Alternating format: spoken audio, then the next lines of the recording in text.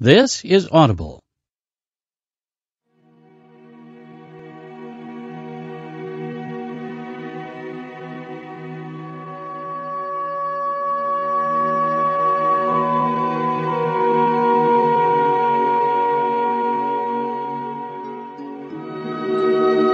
Simon & Schuster Audio presents Hero by Rhonda Byrne. Read by the author.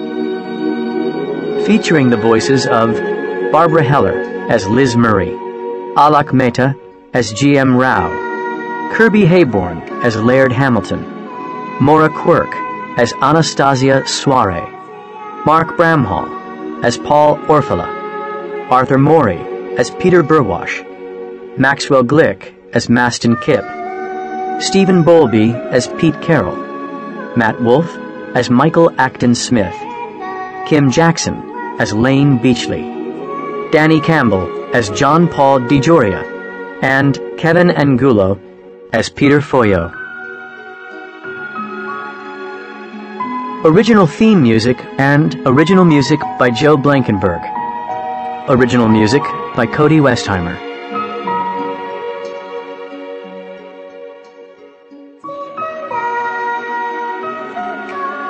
dedicated to every hero.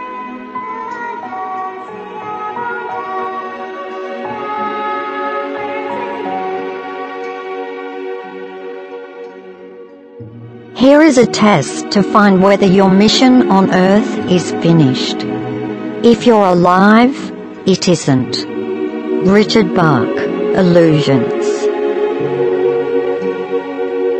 Introduction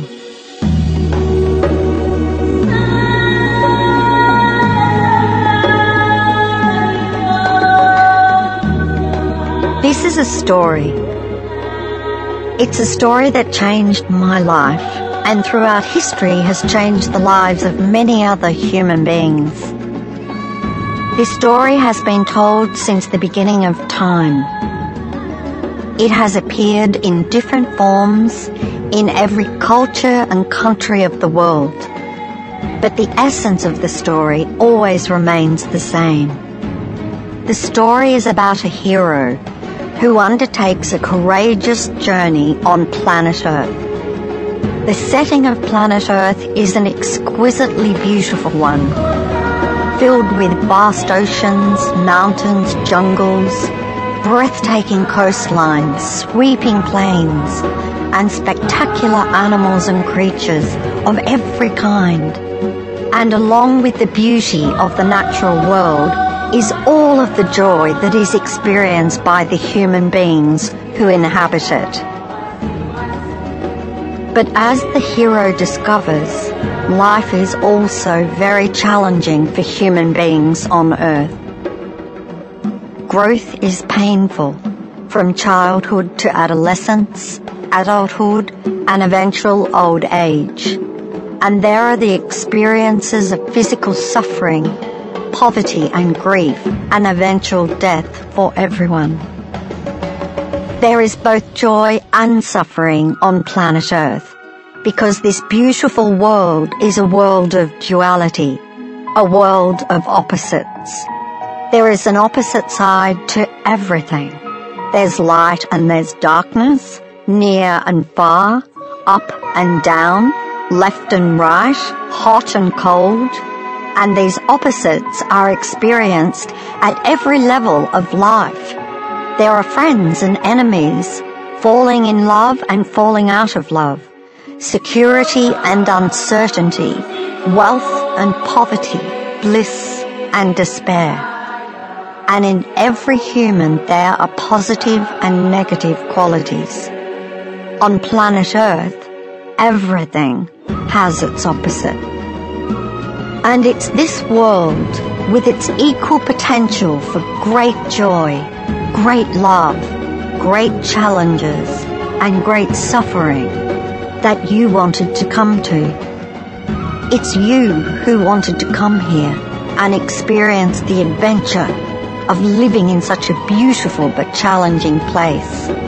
It's you who were determined that there was no difficulty so great it would stop you from discovering the hero within you. It's you who wanted to take the hero's journey. For you are the hero of this story. You are not left unequipped when you undertake the hero's journey. You were born with immensely powerful abilities within you that would enable you to realize your dreams and overcome every trial, obstacle, and challenge you would encounter. But in being born into the limited material world of planet Earth, your mind and consciousness became limited too, which meant you wouldn't remember your true nature and you wouldn't remember the powerful abilities within you. You would have to discover them for yourself. Only through completing the hero's journey and allowing your highest human qualities to arise within you will you finally become the hero. And then a new purpose will overtake your heart to help those who are beginning their own hero's journey with everything you discovered on the path. I was born into a humble working class family in Australia. I didn't have any big aspirations in my early years because I didn't think big dreams were possible for me. But in 2004, my life changed forever when I discovered a secret and a huge dream took over me to share the secret I had discovered with the world. I dreamed of a film and a book that would reach millions of people in every country. If you are like I once was, and you've never considered having big dreams because you didn't think they could happen, know that on the journey you're about to take, you will discover everything you need to make your dreams, however impossible they may seem, come true. This is your story. This is your purpose. This is why you are here on planet Earth, to take the hero's journey and to discover the hero within you. With the invaluable wisdom you're about to receive and armed with your powerful abilities, you will be able to fulfill your dream and find the true and lasting happiness that every one of us so desperately seeks. No matter where you are in your life, no matter what age you are, it is never too late to follow your dream. The people you're about to meet have already taken their own hero's journey. They've come together from all over the world to share their stories and everything they experienced to help you begin your own hero's journey. Liz Murray from the United States. G.M. Rao from India. Laird Hamilton, from the United States. Anastasia Soare, from Romania. Paul Orfalea, from the United States. Peter Burwash, from Canada. Mastin Kipp, from the United States. Pete Carroll, from the United States. Michael Acton Smith, from England. Layne Beachley, from Australia. John Paul DeJoria, from the United States. Peter Foyo from the United States.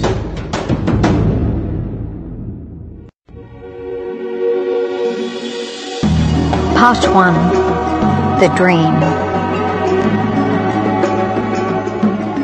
The Call to Adventure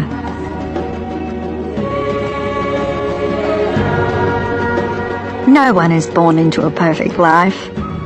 If you were, you wouldn't have anything to strive for and you wouldn't have the urge to create something with your life. You wouldn't have any dreams at all. Whatever circumstances you were born into, whatever family life and education you had or didn't have, you came here to make your dreams come true. And no matter where you are now, you are fully equipped with everything you need to do it.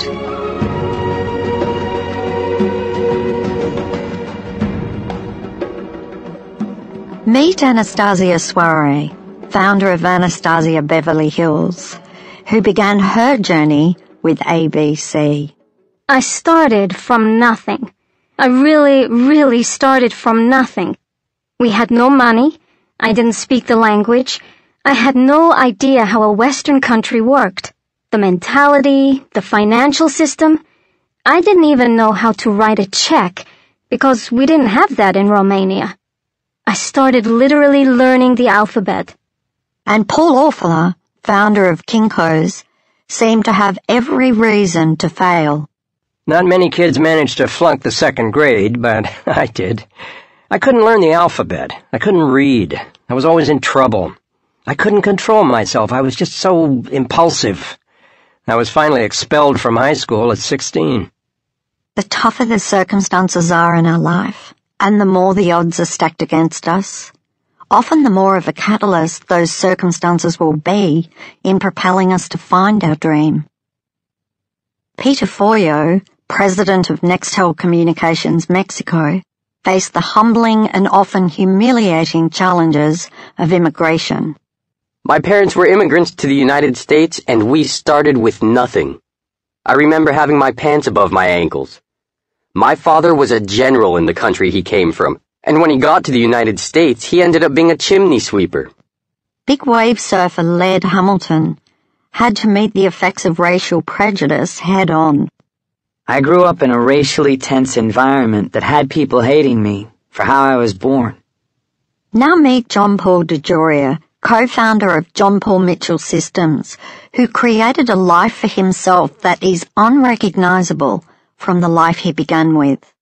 I was 23 years old and my son was two and a half, and my wife at the time had left. Our rent wasn't paid for three months, so they kicked us out.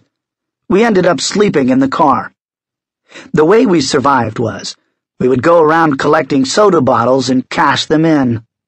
From these circumstances as a young adult, it's hard to believe that John Paul DeJoria went on to create the hugely successful hair product company John Paul Mitchell Systems. But he did it by using qualities that you have within you now. Listen to where GM Rao, mechanical engineer and founder of GMR Group, came from. I started with a zero base. My village was a small village of only 5,000 people. There was no telephone and no power. We had one bottle of ice water that we would share, and we had to line up for our quota of sugar and milk for a month. Whether you were born in India, Australia, the United States, France, or Singapore, the circumstances of your beginnings do not dictate the kind of life you will lead. There is not a single human strength or quality that you are missing in order to fulfill your dreams. You have everything within you to be or do whatever you want, even if the odds appear to be against you. Pete Carroll, NFL coach of the Seattle Seahawks, began his journey with a dilemma. Once I was done playing football in college, I tried out for an NFL team and then a World Football League team. But when I got cut for the last time, I really was in shock. Had no direction because everything that I'd ever looked towards was about playing. I was suddenly faced with, what now? After suffering a life-threatening injury as an ice hockey player, Peter Burwash, tennis coach and founder of Peter Burwash International, went on tour playing tennis, despite his lack of professional tennis ranking or tournament success. With no money, he survived mostly on a jar of peanut butter and a two-day-old breadstick, which he divided into pieces to last for five days. After seven years on the tennis circuit, Peter was forced to retire, and once again he found himself in a situation where his chances for success seemed to be little to none. When it came time to form our tennis management company, there were 16 other companies doing the same thing. I had the least amount of money, financial backing, and tennis credibility. We didn't have any chairs in the office, so we had meetings on the floor for the first couple of years. It's not the conditions of the outside world that determines whether or not your dreams will be fulfilled. It's not how much money you have, how educated you are, who you know, or even how much experience you have. It's the discovery of the abilities you have within you and knowing how to use them to overcome any and every obstacle you meet in the outside world. It's what every successful person did, and you can do it too. Michael Acton Smith, founder of Mind Candy, tells of his meager beginnings. I had a friend, Tom, who I met at university, and we decided to set up a business together. We didn't have much money. In fact, we had debts from university. We got the cash to get the business going after we saw an ad in a newspaper asking people to basically sell their bodies to medical science by taking part in a drug test for a new anti-migraine drug. We did that and got paid £400 each. My mum was horrified. I think that was one of the reasons why she was very supportive. She gave us a thousand pounds each, and Tom's parents let us use their attic. Ten years ago, I was doing fine in my life, climbing the ladder of success in the television industry. And then suddenly, one devastating circumstance after another happened. And within a few short months, my entire life had collapsed around me. I fell into despair. But it was in this very moment that I discovered a secret that would ultimately become a movie and my first book. Even when your whole life seems to have burned to the ground, from the ashes comes new life. Someone who innately understands this concept is Mastin Kipp, inspirational writer and founder of The Daily Love. When I first came to Hollywood, I wanted to be a music manager. That didn't really work out. Hollywood's not known for being the most loving environment. I started abusing drugs and alcohol, and I hit rock bottom. In one week, my investors pulled out, my business partner and I broke up, my roommate gave me three days' notice, I developed gout in my foot, my lower back went out, and the girl I was seeing, she and I broke up. Literally, my life fell apart in one week. That started a very long and painful journey that I'm very grateful I went on, but never want to do again. At the time, I felt like I was in a hurricane, and then I realized what if it was a divine storm? Liz Murray, Harvard graduate, author, and speaker, was able to envision possibility in the most dire circumstances. I went through this period of time where I had things, and then I suddenly didn't have anything tangible. My mom passed away, my dad was estranged living in this shelter, and my uncle, who was probably the biggest angel of my life, passed away suddenly. I ended up homeless. Everything that was there was suddenly not there. I remember feeling like, if life can change for the worse, maybe life can change for the better, because clearly life could change very quickly.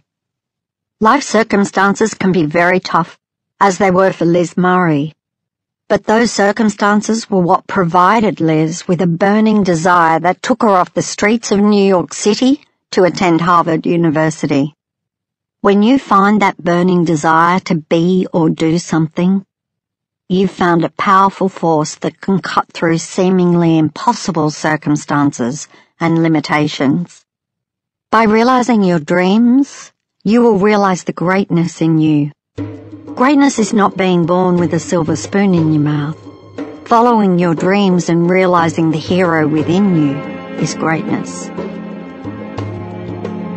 Your calling Every single person who has ever been born, or ever will be born, comes with some unique talent or ability.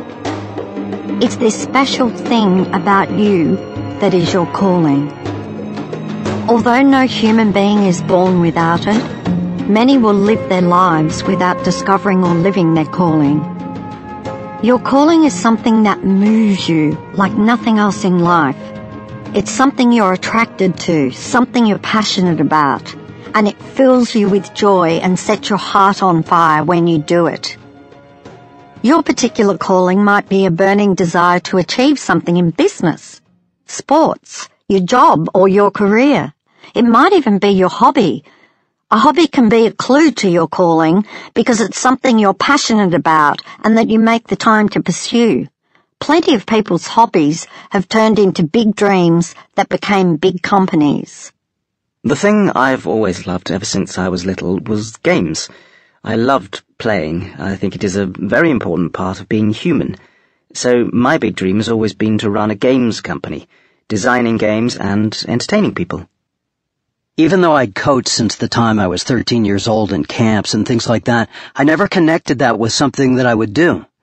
When I went back to graduate school, I was a coach at the University of the Pacific, and that's when I stepped back and thought, wow, this is something I could do that's close to playing football. And that's where I really made my first step towards coaching. Your calling might be something you have daydreamed about being or doing that you thought could never happen for you. But when you think about doing that particular thing and living that life, you're filled with an incredible feeling of happiness and fulfillment. And no matter how impossible that dream seems to be, you are being called to follow it. I would sleep in a hallway in New York City by myself. I shoplifted Oreos and crackers, and I would sleep with my head on my book bag. In my book bag, I had everything I owned my journal, my clothes, and my mother's picture, which I carried with me everywhere. With my head down on that book bag, sleeping in that hallway, I would dream of a better life. And I had this deep sense inside of me that I was meant to transcend whatever this was, not only for the purpose of having a better life, but for making the lives of others better. Whether you can remember it or not, you have received the call several times in your life already. You might have received it as a child when you knew absolutely what you wanted to be when you grew up.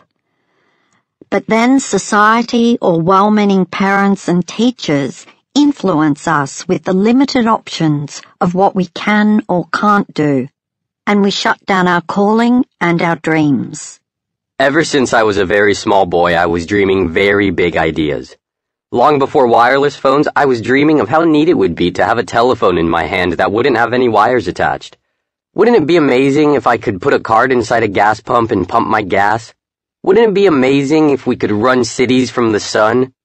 I had a vision of creating this great company, making lots of money, and being the best executive in Latin America. You might have received the call in what seemed like an everyday moment through something you saw, read, or heard. Suddenly something hit you like a bolt of lightning, and an ordinary moment becomes the defining moment of your life. My mathematics teacher in school said, every life has a purpose, and we should work towards realizing it because that would be real achievement. This ignited a burning desire in me to seek my calling and work towards achieving it. My father left my mother when I was very young, and I had to be a little man very early. That forced me to really make a conscious decision that I wanted to be something. Out of challenging life circumstances, a burning desire arose within Laird Hamilton to do something with his life. He heard the call. He responded to it and in fulfilling his dream of becoming one of the greatest big wave surfers, he has inspired millions of people the world over. For Layne Beachley, the call also came through a very challenging situation in her childhood. When Layne was only seven years old, her mother died suddenly. After her mother's death, Layne learned she was adopted her birth mother was only 17 when Layne was conceived through a date rape. Layne's foundation crumbled beneath her. But it was that critical event of losing her mother that would propel Australia's Layne Beachley to become a seven-time world surfing champion and one of the greatest female athletes in the world. Honestly, what drove me to become a world champion is being adopted. I mean, before I chose surfing, the big dream was to be a world champion in anything. I just had to be the best in the world. I felt the need to prove myself to the world. There was never any doubt in my mind what I wanted for my life. I just wanted to have my own business. Could have been any business. I used to look at the IBM building and think, I want a business bigger than that. Suffering from ADHD and dyslexia, Paul Orfalea couldn't read or write. Yet look what he did with his life. He created Kinko's, a multi-billion dollar company that provided jobs for thousands of people. In our world of duality, every disadvantage contains its opposite, an advantage. Paul turned his disadvantages into advantages. Anastasia Soare had a dream of escaping communist Romania for almost three years, she planned and waited to make her escape with her daughter, Her decision to flee involved great risks, and when she finally arrived in the United States, Anastasia came face to face with another huge decision. She was working 14 hour days to earn enough money to support her family, and unless she did something different, this would be her lot in life. I needed to do something. I needed to prove and to find out who I was as a person, what I was worth. I'm not saying it wasn't scary, because it was scary, but I thought, this is why I came to this country. This is the land of opportunity. I have to do this, otherwise why did I come here? To have a worse life than I had in Romania? No. Living under very difficult circumstances in Romania instilled in Anastasia a particular strength of character and a determination that would carry her through every obstacle to fulfill her dream of having her own business. That business grew into an empire with over 1,000 outlets in the United States, more than 600 outlets internationally, and salons in multiple countries throughout the world. No life circumstances are 100% negative. Every negative circumstance also contains its opposite. And so there is something good buried within every seemingly bad situation. Life is not about the negative circumstances that happen to you. It's about what you do with the golden opportunities hidden within. You're never called to follow a dream unless there are multiple ways for you to fulfill it. It's downright impossible for you to have a dream if you can't at the very least make the essence of that dream come true. Your dreams are calling you to the best life you can have. They are calling you to find the hero within you. I grew up in a relatively picturesque environment my parents were awesome and it did a lot to shelter me from the pain in the world. When I started to step outside myself and see the pain in others and realize that I could do something about it, it made it crystal clear that there was really nothing else I could do with my life. And so my dream has really been to combine pop culture with inspiration and wisdom so that we can reach the greatest number of people possible.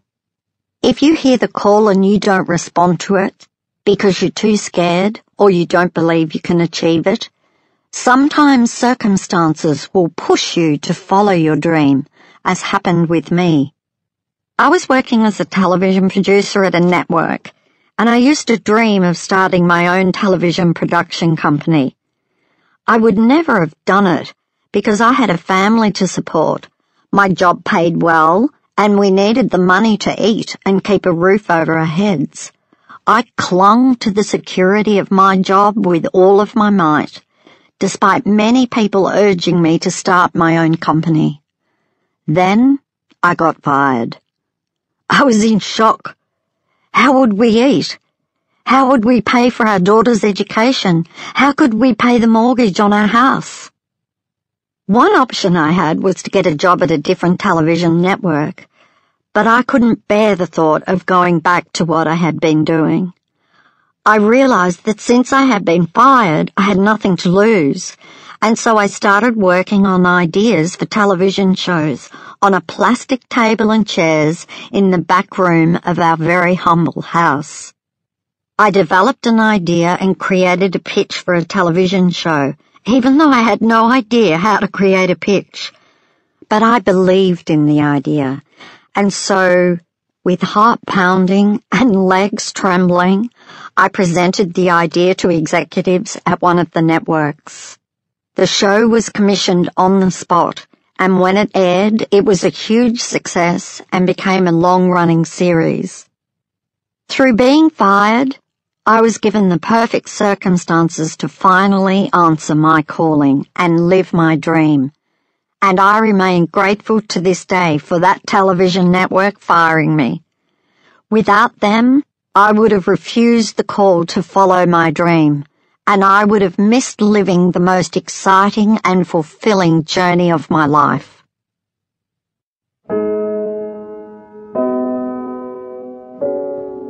Refusal of the call.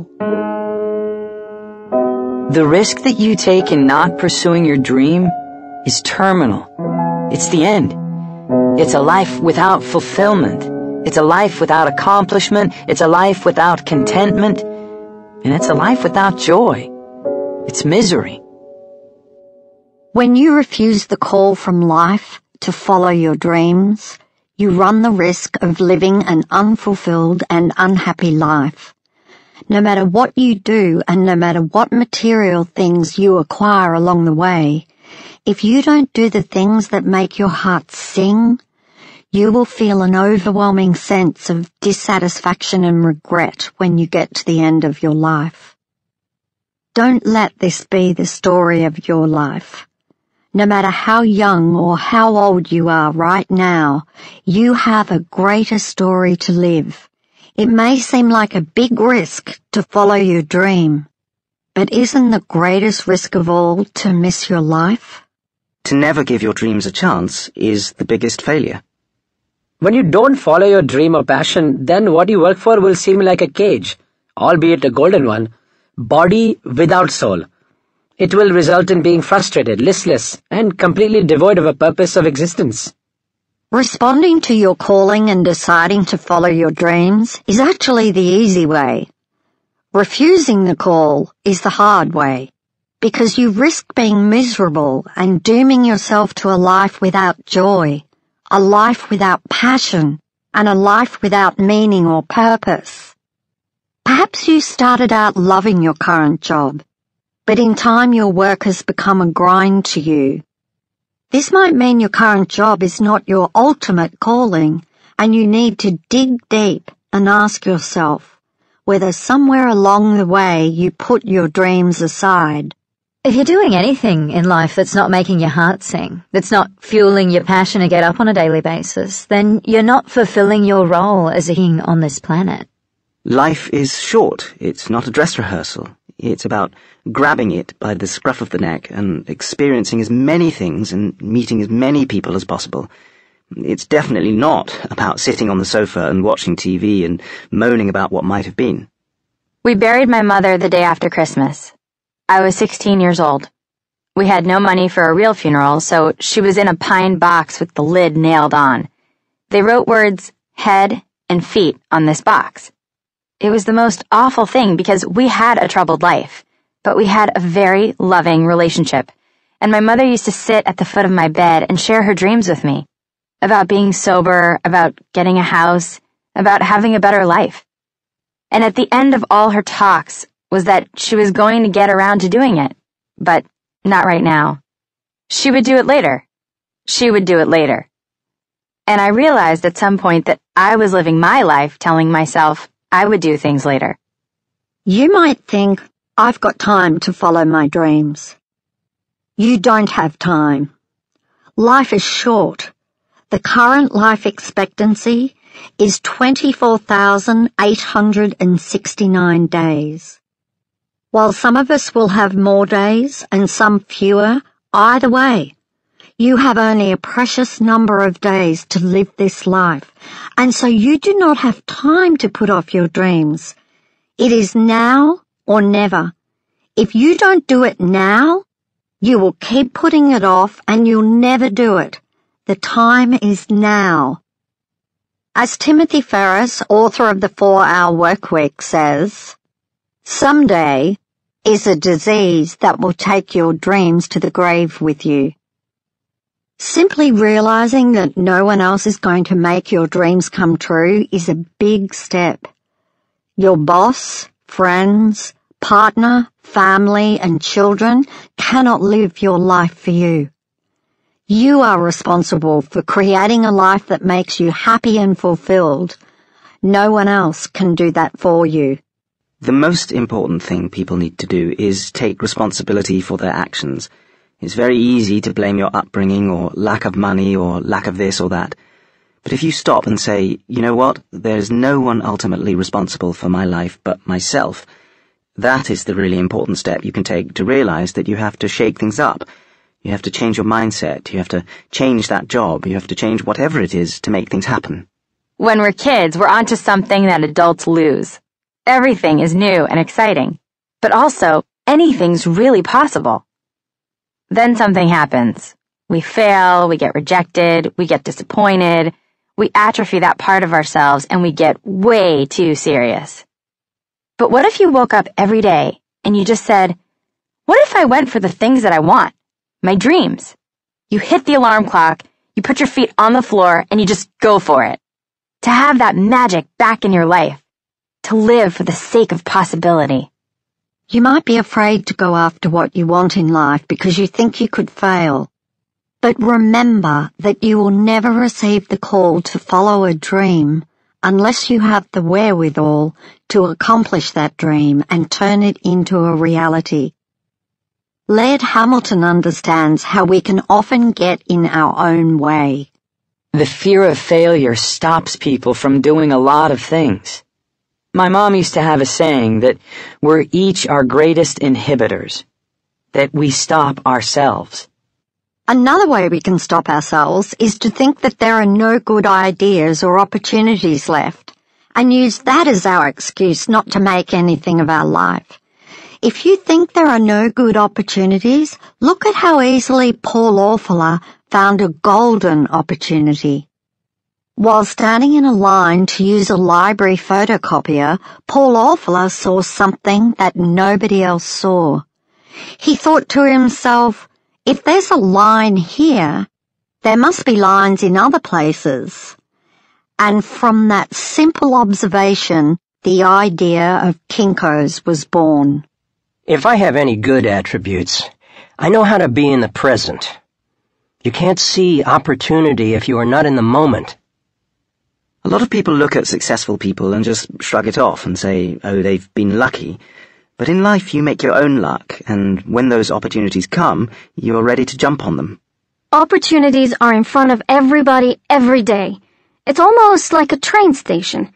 Everybody is in the station. There are trains that stop in front of people, but they have their eyes closed. They don't have their eyes open to see and to get onto that train. Opportunities are everywhere. You do not need a big dream to do a big thing. Just be open to life's opportunities. The inventor Ken Hakuta, known as Dr. Fad, explains that fresh opportunities are constantly available. When he says, people will try to tell you that all of the great opportunities have been snapped up. In reality, the world changes every second, blowing new opportunities in all directions, including yours. The illusion of security. Don't let money and security dictate your choices in life. Life continually changes. Companies change hands, go bankrupt, or relocate overseas. Jobs are lost, or economic collapse brings about massive cutbacks. You can lose your job, your savings, and your house. Marriages can end Health challenges can appear, and circumstances can arise that throw the security you thought you had out the door. I chose financial security over following my dreams, and when I was fired, I was clearly shown that the security I thought I had was all in my mind. Real security means knowing there is no security because then you will make sure you live every day of your life to the fullest. Family and friends, while they love you and while they want what's best for you, unless you have a kick-ass mom or dad or a kick-ass environment that you grew up in, generally they're going to want you to take the financially safe path where there's certainty and safety. As painful as it might be in the short term to step away from the security and a job that is paying well, You've got decades of life to live. You might as well suffer a bit of short-term pain to find something you love, even at a lower salary, because if you do a job you love, you will end up being successful in so many other ways. Don't let less money let you compromise on what you love to do. What you excel in will definitely bring you that very prosperity and security you need. Maybe the start would be small, but as one achieves perfection in what you are doing, Everything else will follow. Being trapped by security can happen to anyone. There are many people making a lot of money whose work is a grind to them, and they're as unfulfilled and unhappy as those making a lot less money. What is money for you? If it's the goal, then it will be the ruler of you. It'll dictate your movements and it'll control you. Material things are wonderful, and experiencing them is one of the great pleasures of living on earth. But through the conditioning of society, we can be misled into thinking that the accruement of material things is the purpose of our life. If material things were the purpose of our life, they would provide true happiness, fulfillment, and satisfaction, and we'd never need to buy another thing. The happiness we feel when we get those things wouldn't be fleeting, but would be everlasting. If accruing material things were our purpose in life, we would be able to take them with us when we leave. You would walk outside to get the paper in the morning and see that old man Joe's house across the street disappeared because he took it with him. We can't take material things with us because they are not who we are. While they are part of the joy of living on earth, they are not the purpose of our life. It was tough. It was challenging, and I sacrificed a lot. But I made those sacrifices out of choice, because following my dream of becoming a world champion was way more important to me than earning money. We all need food, shelter, and clothing. But the pursuit of material things for their sake alone robs us of the freedom to live a truly fulfilling life. Don't let the tail wag the dog by making security and the pursuit of material things the purpose of your life instead of following your dreams. The irony is that when you do choose to follow your dreams over security, you will have it all material riches and a rich, fulfilling life. In addition, you receive something that money can never buy. You will have the greatest feeling of accomplishment, fulfillment, and satisfaction. Of course, you will always want to do more and continue to build on your dreams. But when you experience the feeling of absolute fulfillment from taking the hero's journey, you will have no doubt that it was what you were born to do and all that you gain within from fulfilling your purpose is what you do take with you when you leave. Don't get to the end of your life and regret all the things you didn't do. Your life is precious. If you sell yourself out, you won't find the happiness you desperately seek, because true happiness comes from fulfilling your dreams. Imagine what it would be like to get to the end of your life with no regrets. Imagine reflecting back on everything you did and you are filled with the greatest feeling of satisfaction. You know that saying, don't die with your music still inside of you? People have things they dream of when they lay their head on the pillow at night. And if you don't honor that voice, it doesn't go anywhere. It's an energy that lives inside of you you can't negate that energy. It's part of the fiber of who you are as a person. So, if you put your head down on the pillow at night and you are called to do something in this world and you ignore that, then that dream is still locked inside of you. To me, that's the worst thing. To die with your music inside of you. What Liz Murray is talking about happens frequently. A friend of mine worked for many years in the administration area of television and through changes in the company she worked for, she was pushed out of her job. She knew what she wanted to do more than anything, which was to be a movie director, and she started to make plans for a new life of living her dream. But just before she had seized the opportunity and put her new life into action as a movie director, she was offered a well-paying job back in television administration. She took the job and just like that, her dreams and the possibility of her new life vanished. I don't want to get to the end of my life and be sitting in a nursing home and look back and wish I could have done all these things differently. What do you have to lose? You have to try it. You'll live then a life without knowing that you were able to do it. That's painful. To me, that's painful. I always tell students to start your business out of college. What's the worst thing that can happen to you? You can go live with your parents. It is not about experience. Just stick your neck out and start your business. Most people won't take the leap because they're not experiencing enough pain. Usually they will take action once they're so fed up, once they're so sick and tired that they're like, I can't take this anymore. Even if you're stuck in a job or a profession you don't like, you've got a better shot than ever in human history to end up doing something that really satisfies you. Don't wait until you get to the point where you can't take it anymore before you make a change. Change your life now. Anything but true happiness and fulfillment is not good enough for you, so don't settle for anything less. Even if you think the tentacles of security have already wrapped themselves around you and you can't move because of your obligations, it's never too late. There are always unlimited ways to follow your dreams, and it is much easier than you think.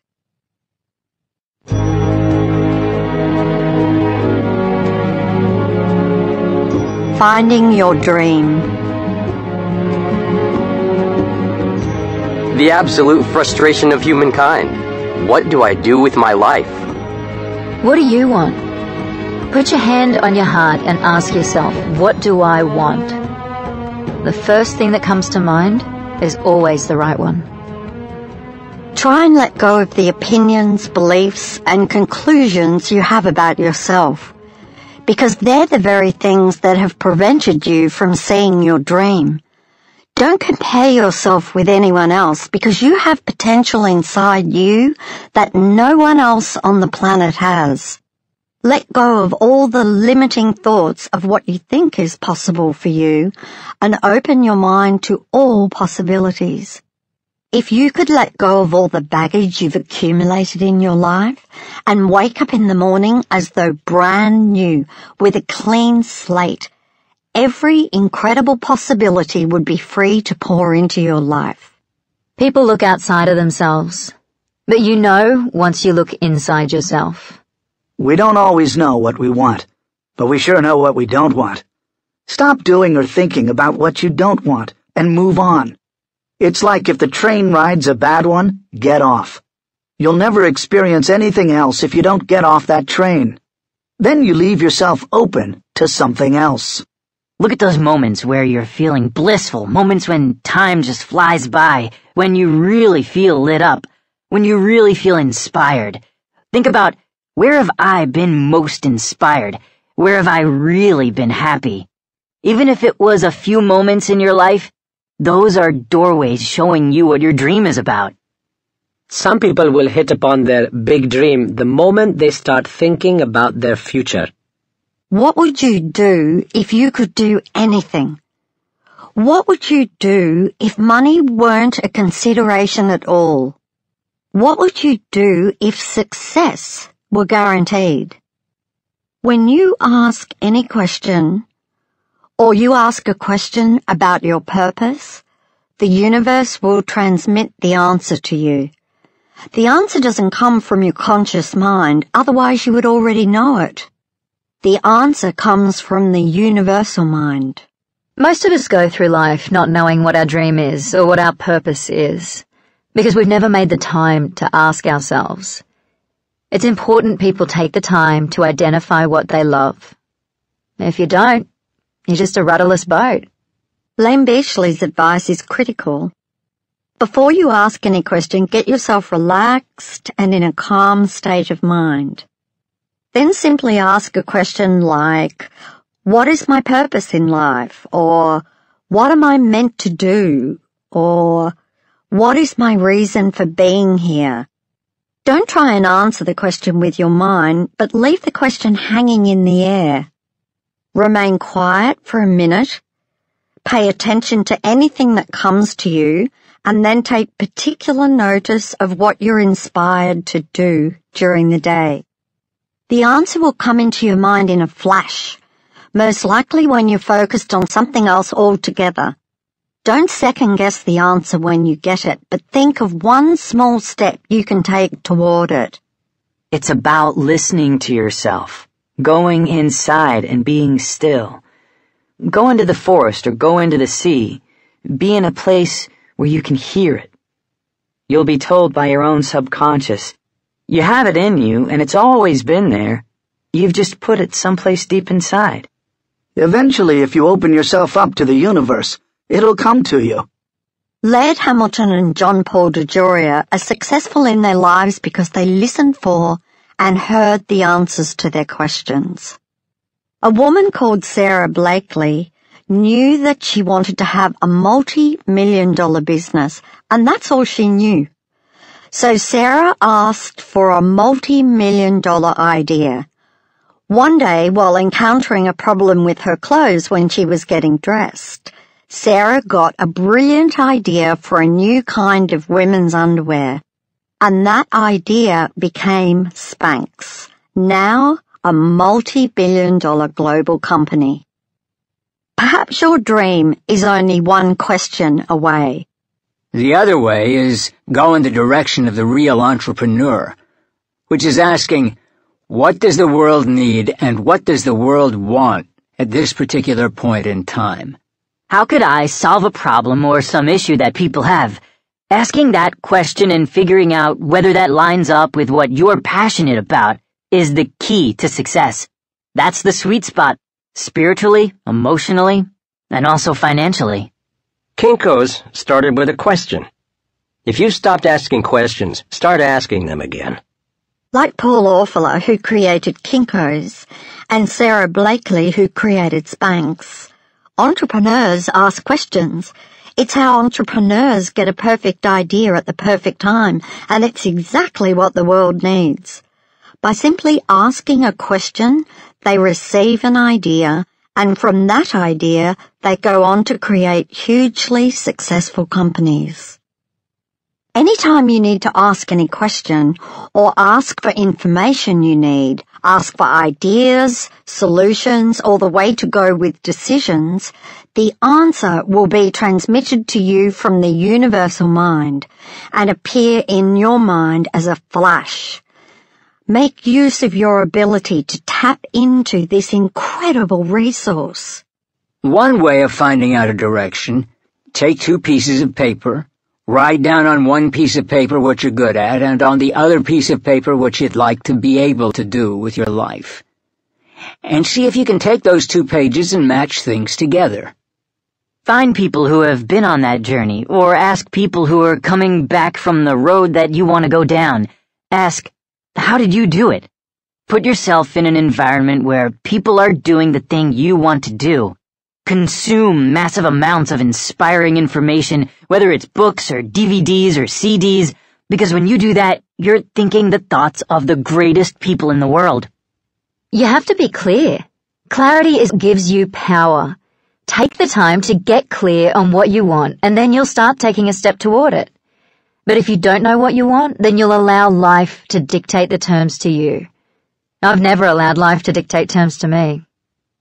If you are dreaming about something and nothing's happening, write out what you want to achieve and have it in front of you when you wake up in the morning. One way or another, if you're focused on it, the mind leads you in that direction. Whatever the mind can conceive and believe, it will achieve. The more you have something on your mind, the more it is going to happen. It's not rocket science. To me, it's really obvious that it's making a conscious decision about what you want to achieve or what you want to become. It's the vision that sets in motion whatever the powers are in the universe that helps us create what we want.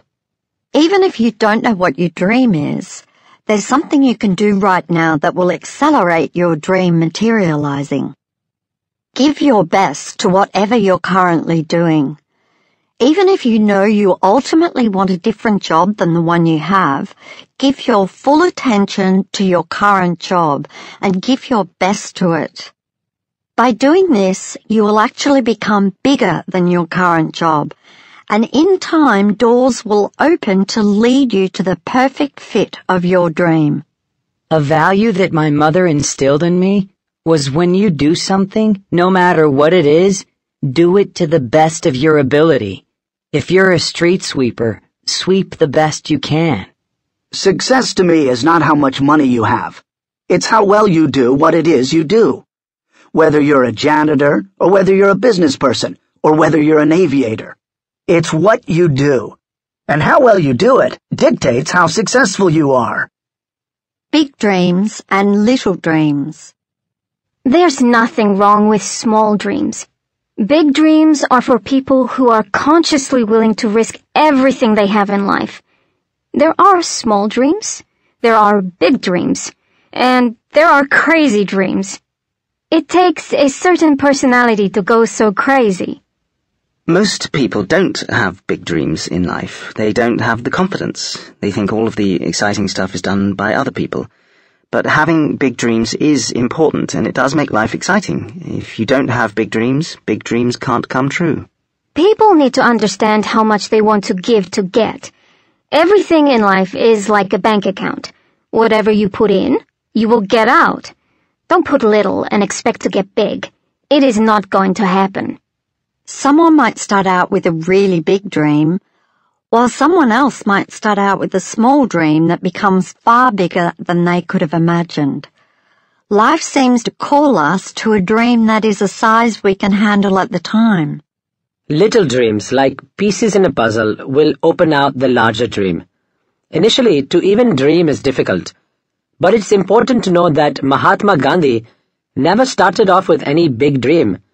He just kept pushing the limits of what he wanted to happen, and bingo the biggest thing happened. When you find your dream and make it come true, all the other smaller dreams you have for your life come true too. One of my dreams in my twenties was to live in a different country. I wanted the adventure and challenge of living in a country that was unfamiliar to me and experiencing the excitement of a different culture from the one I knew. When my dream of the secret came true, my work required me to move from Australia to the United States, and so a dream I had put aside came true at the same time as my big dream. Dreams are attached to each other, and once one comes, all the rest will follow. Whether you've found your dream or you have no idea what your dream is, there is one extremely simple piece of advice that, if followed, will positively lead you to your dream.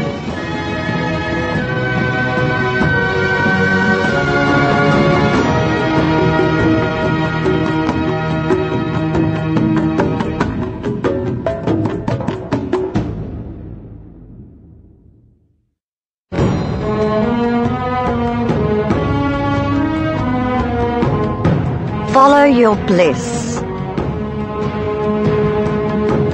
Joseph Campbell was one of the world's most well-respected mythologists, and through his insightful teachings, he gave us a simple yet profound message for our life. Follow your bliss. These three words are the compass for your life. They tell you what direction to point toward in every moment. Bliss is how you feel when you do something you absolutely love to do, and it is a thread that's connected to your dreams. So when you follow your bliss, you also find your dreams and fulfill your reason for being here.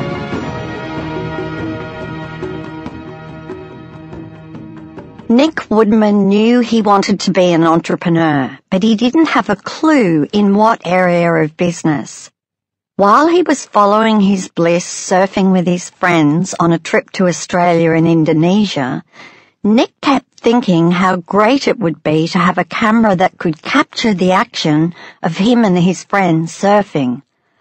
That one little thought was the seed of an idea that became the GoPro camera, which made Nick Woodman one of the world's youngest billionaire entrepreneurs.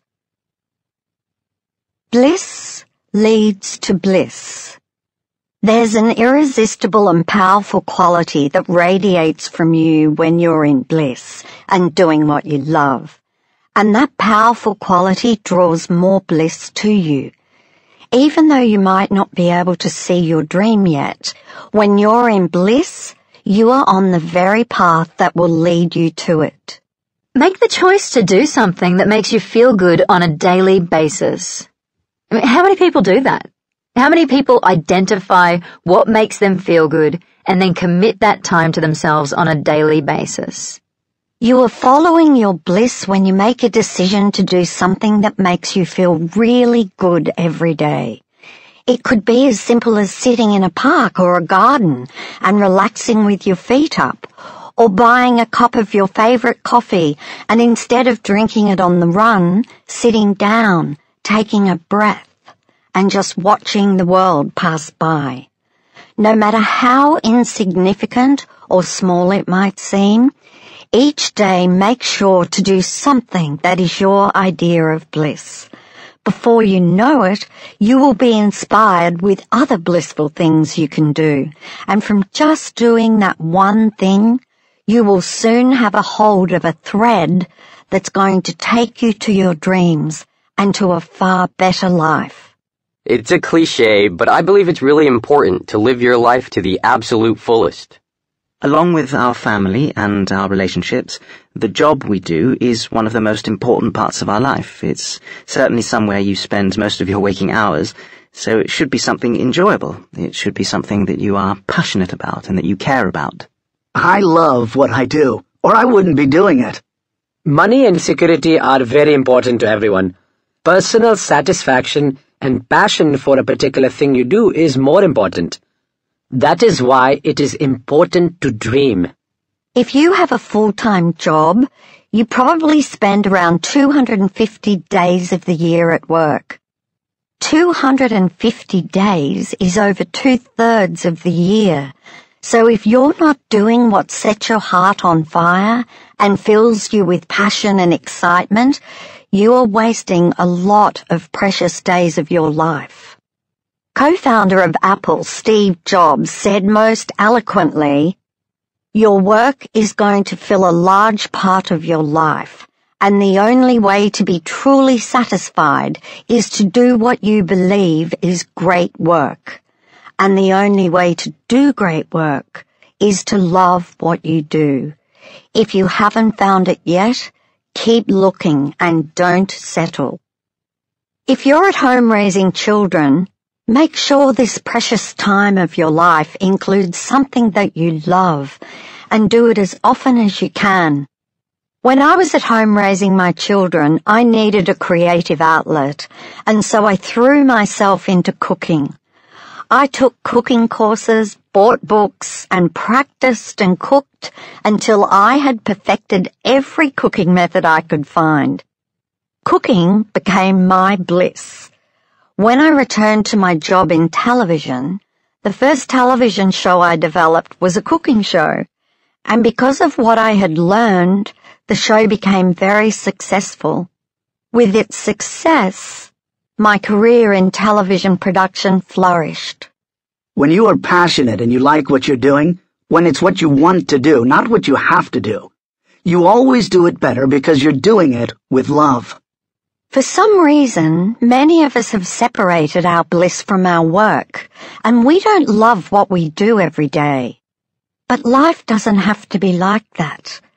The fact that there are people who are blissful and living their dream for their work tells you that it's possible for you too. You don't need to know what your dream job is, because your bliss is connected to it. So all you have to do is follow your bliss and it will lead you to it. I don't work because I have to work. I work because I enjoy the work. To me, work is worship because it is with a sense of purpose and gives happiness and contentment not just to me but to those around me. I don't think I've ever said, I'm going to work. What kind of job can you imagine yourself doing where you wouldn't ever say, I'm going to work? Your work should embrace your passion or special talent and be something you would do whether you are paid or not. Liz Murray knows that this is a genuine need in our lives. I have to have fun in what I do. If I don't have some kind of fun, if it doesn't blow my hair back, if it doesn't feel like magic, I just can't stick with that. I must pursue things that make me feel like it's Christmas morning when I was a kid and I can't wait to get out of bed. If I start dreading something or wanting it to end, it's a symptom that something needs to change. At Mind Candy, we love working with people who don't take themselves too seriously, who can have fun as they work. None of this is life or death, even though some people would like to think of it like that. I think you enjoy life and you have a lighter spirit when you have fun at work. Money follows fun. As Sir Richard Branson, entrepreneur and business magnate says, I didn't set out to be rich. The fun and the challenge in life were what I wanted, and still do. But I have found that if I have fun, the money will come. Be true to yourself. When your work is your bliss, you will be happy. Doing a job you think you should do instead of doing what you love is leading a false life. So many precious people are living a life that has been put upon them by well-meaning parents, teachers or society, or even by a friend or partner, and they're miserable. We're seeing the evidence of the misery in people through the alarming increase of mental health problems in the world. Shut out what everyone else thinks. Have the courage to follow your own bliss, and you will be immensely happy. There's a lot of things one wants to do that maybe isn't commonplace or that everyone else agrees with. But if it makes you happy, by gosh, go after it. It's so rewarding being true to yourself. I left university and got a sensible job in a bank, and I realized quite quickly that it just wasn't for me. It didn't speak to my soul, and I realized I was pretty much unemployable. When we pursue a dream, there will be several pulls from different directions, from stakeholders, family, friends, and society. In my case, there were many such situations. For example, when my brothers with whom I was in partnership for our family business had different aspirations, I exited the partnership to pursue my own dreams. GM Rao had the courage to follow his own dreams, and look what he's done with his life. He has built airports, highways and hospitals, and developed cities in India. He has improved his country and the lives of hundreds of millions of people because he made a decision to follow his own bliss. It often takes courage to do the thing you love and go against the majority. Resist the temptation to try and please anyone and be true to yourself. It's not your job to please anybody else anyway. It's their job to please themselves and find their own happiness. This is your life, and you must follow your own heart.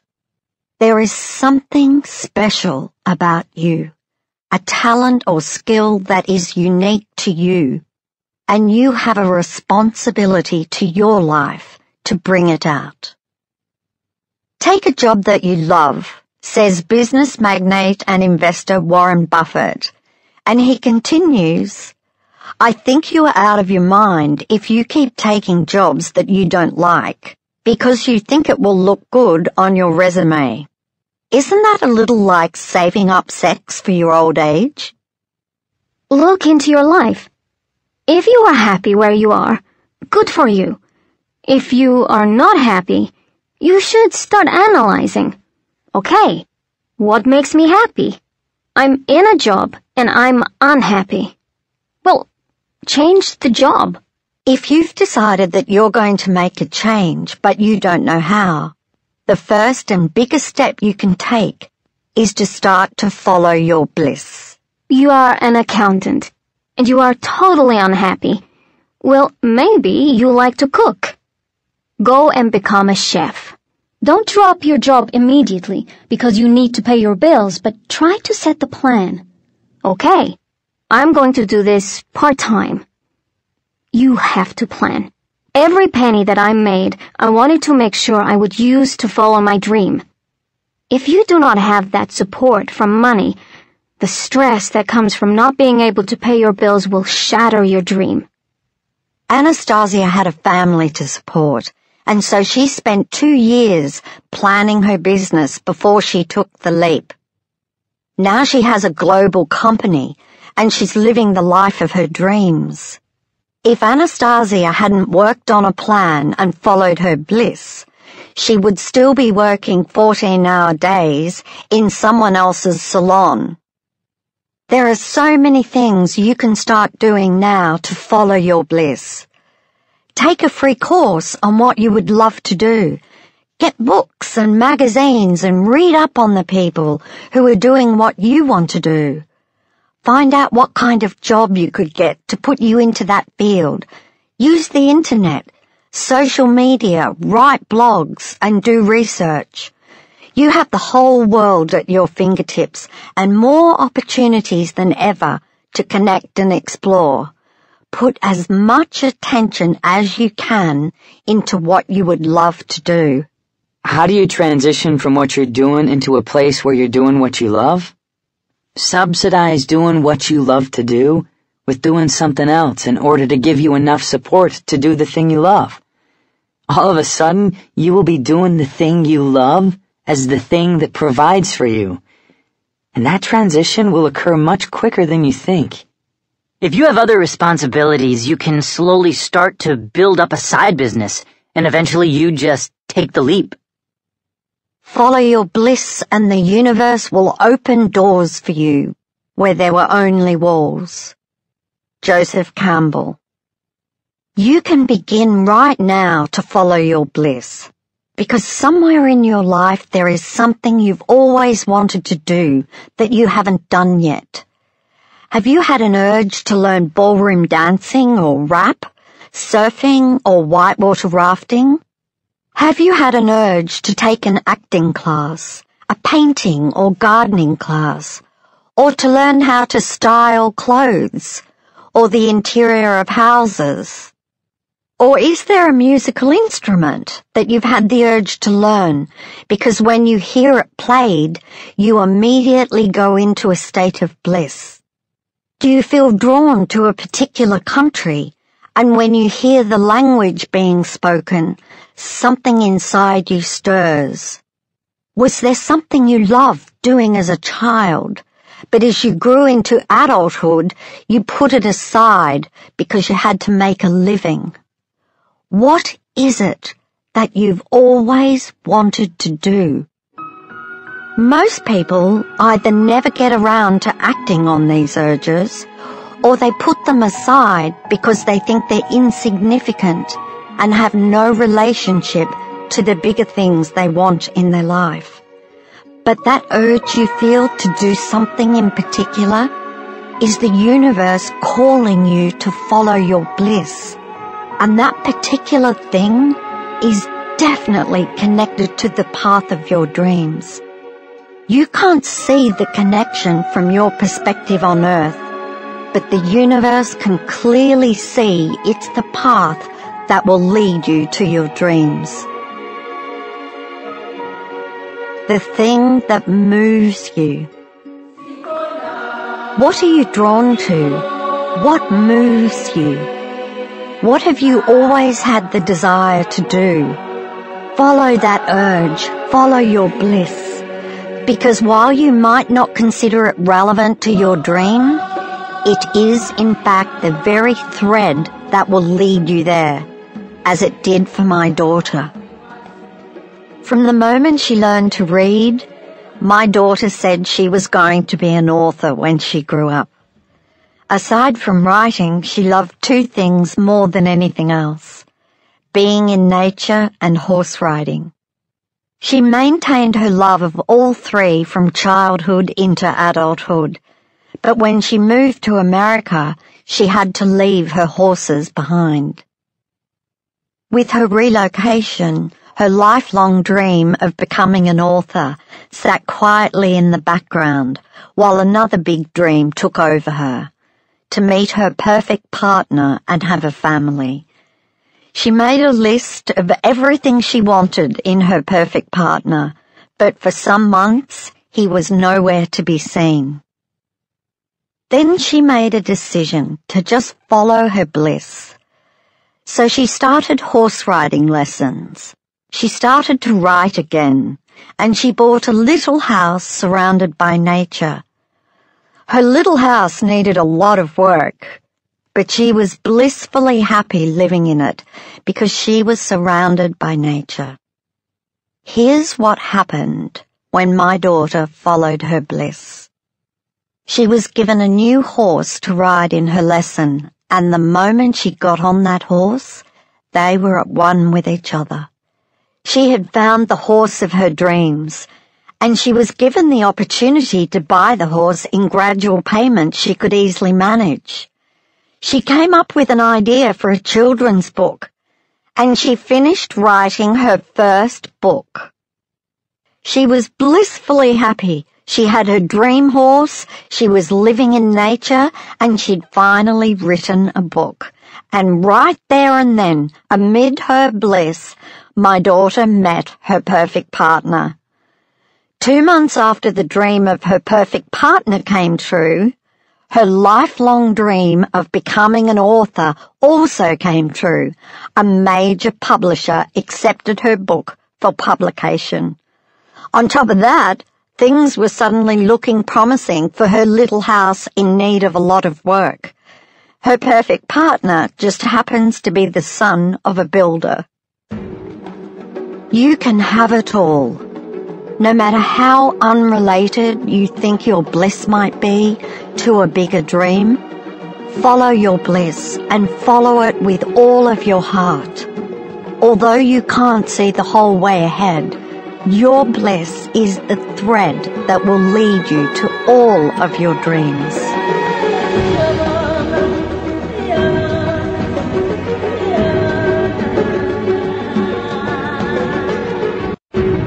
Part 2 The Hero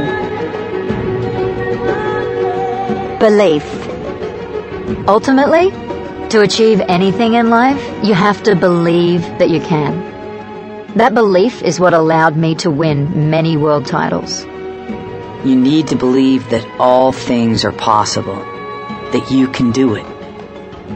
To believe in yourself is perhaps the most powerful hero ability you have available to you. Your belief will carry you through every difficult situation or any challenging circumstances and enable you to ultimately realize your dream.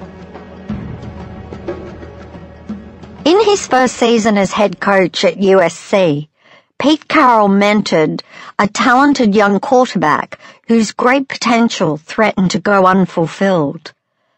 The problem was that this player was prone to negative self-talk, which at times affected his ability to perform. Once Pete discovered his quarterback anticipated making mistakes, he worked with his staff to eliminate the player's negative self-talk. Thanks to their timely intervention, the quarterback came to believe in himself so much so that two seasons later, he was awarded the Heisman Trophy as the best player in all college football. He went on to star in the NFL and won Most Valuable Player in the NFL Pro Bowl. His name is Carson Palmer. Throughout my coaching life, I've helped people understand the power of their thoughts and personal beliefs. A person's self-talk is the clearest indicator of one's belief in themselves. I constantly preach the value and significance of positive self-talk as a key element to manifesting your dreams.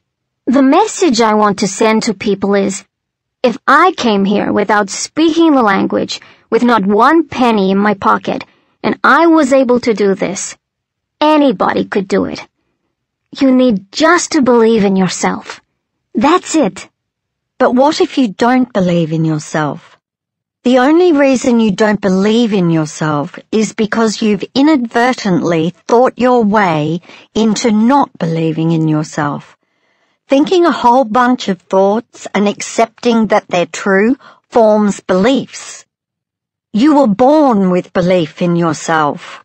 And so if you don't believe in yourself today, it just means that in your life you have accepted thoughts about yourself that other people put upon you, and you believe them to be true. And the only way you maintain that lack of belief has been through your own continuing thoughts about yourself, your self-talk. The number one hindrance to success is people who believe it's not possible for them If you believe something's not possible, then you're right, and the whole universe will be against you, not because the universe is a bad place, but because that's how you're interacting with it, and all you'll look for is proof of your low self-worth and proof of why it's not possible. The way to change a lack of belief is very simple. Begin thinking the opposite thoughts to what you've been thinking about yourself, that you can do it, and that you have everything within you to do it. Remind yourself that you have incredibly powerful abilities, and that you will know exactly how to use them when the time comes. Remind yourself that all you need to do is take one step at a time. Your subconscious mind. As you think thoughts that you can achieve your dream, you will change the program in your subconscious mind. Your subconscious mind is like a computer, and it has many different programs that you have loaded into it, either with your thoughts or by listening to and accepting other people's thoughts about you. And you've been doing this throughout your life. If you don't believe in yourself, if you don't believe you can achieve something, then no one else is going to. All the programs in your subconscious mind have been put there by thought. And it's thought and thought alone that will create a new program and override the old one. When you first start to think thoughts that you can do anything, you'll feel the rejection from the firewall of your subconscious mind, which will tell you that those thoughts aren't true. But as you keep planting the thought that you can do it, eventually those thoughts will become a belief and you will have changed the program. Anyone can acquire self-belief if they choose to do so. It's surprising that after many years, even a lifetime, of not believing in yourself, it only takes a short time of concerted effort to start believing in yourself. The most powerful time to reprogram the subconscious mind is when you're falling asleep at night. When you're in that very sleepy state of being half asleep and half awake, Plant the thought that you can do anything and you can achieve anything you set your mind to. Your aim is to make that believing in yourself thought your last thought before you fall asleep. Because the very last thought you think as you're falling asleep goes straight past the firewall and into your subconscious mind. And when that thought goes past the firewall, the subconscious mind must accept it as true. Once your subconscious mind has the new program of believing, it must carry out that program and prove your belief in yourself true. You will suddenly find new people in your life who believe in you, or new support from people already in your life, and you will feel inspired to take particular steps or actions that prove your own abilities and increase your self-belief. Whatever you hold in your subconscious mind is what happens in your life. This is because any new program in your subconscious mind is immediately transmitted to the universal mind. And once the universe has the instructions, it will work with you to make sure you achieve what you believe. Perhaps now you will understand why it has been said that whatever the mind of man can conceive and believe, he can achieve. I strongly believed in my vision of creating value for society. In spite of two significant setbacks that could have derailed my life, I persevered because my values and unflinching commitment were aligned with the will of the universe, which supported me unconditionally. There was never a doubt in my mind. I truly believed I could achieve my dream. I couldn't have achieved what I've been able to do without truly believing in it. Now, it doesn't mean I didn't have doubt, because doubt is ever present, always looming and circling and trying to get a hold of you. But I didn't embrace the doubt. Believing in yourself doesn't mean there won't be moments where you question your ability to achieve your dream. In those moments of doubt, just bring your mind back to the very next step you have to take, because you'll find it's easier to believe you can take the next tiny step rather than have your head spinning with the whole journey ahead. And when you think about it, you can only take one step at a time on the hero's journey. And one step at a time is all that every successful person took. When you're feeling happy, your belief will be strong. If you're feeling tired, discouraged, under the weather, or lacking energy, that's when doubts come in. Everyone has those moments. So remind yourself that the way you're feeling is temporary, and it'll pass. That's why it's so important to follow your bliss every day, because in doing that you will be happy and as a consequence, your belief will be strong. You have to invest belief in your dream. Be confident that what you want is simply the best thing in the world for you. Without that belief, what follows is a half-hearted approach without effort, determination, or persistence. Many times, the fear of failure is behind this lack of conviction. My mom told me I can do anything I set my mind to so I literally believed her. I knew from the beginning that when I really set my mind to something, something big will happen. My mother believed that I could walk on water. Her belief was less about the goal and more that I could be a good person. But that gave me the strength to believe in myself.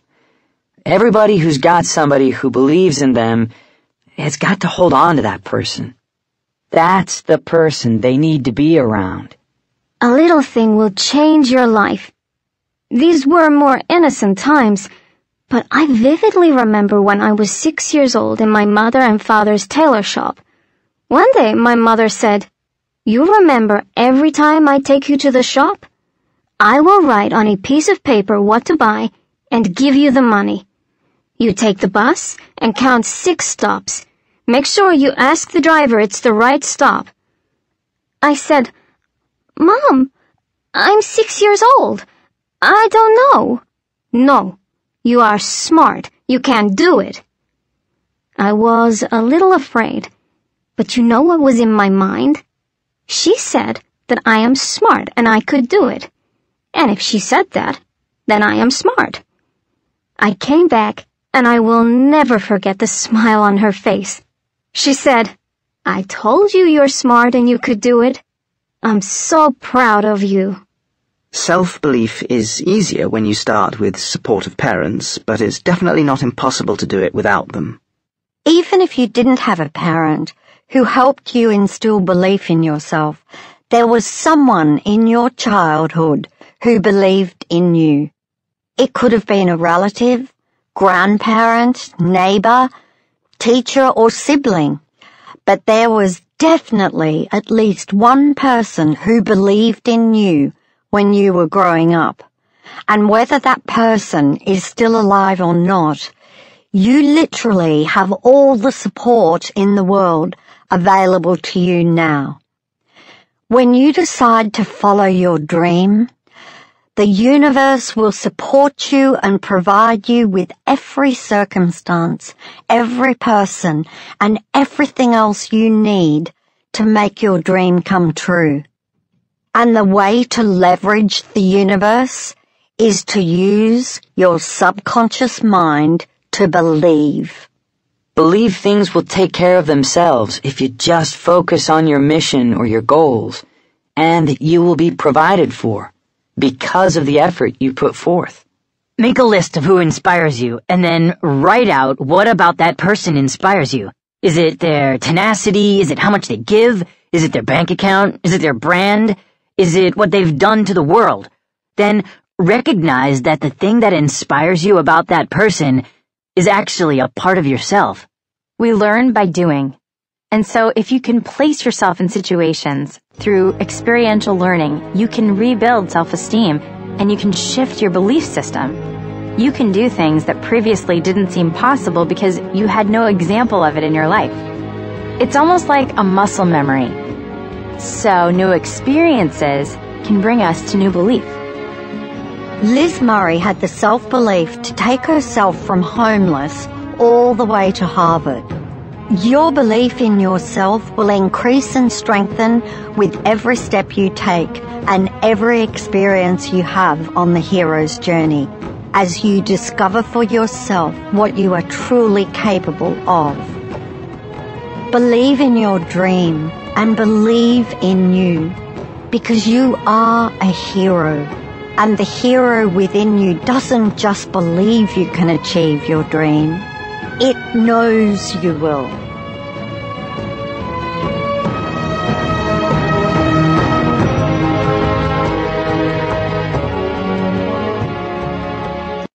Vision.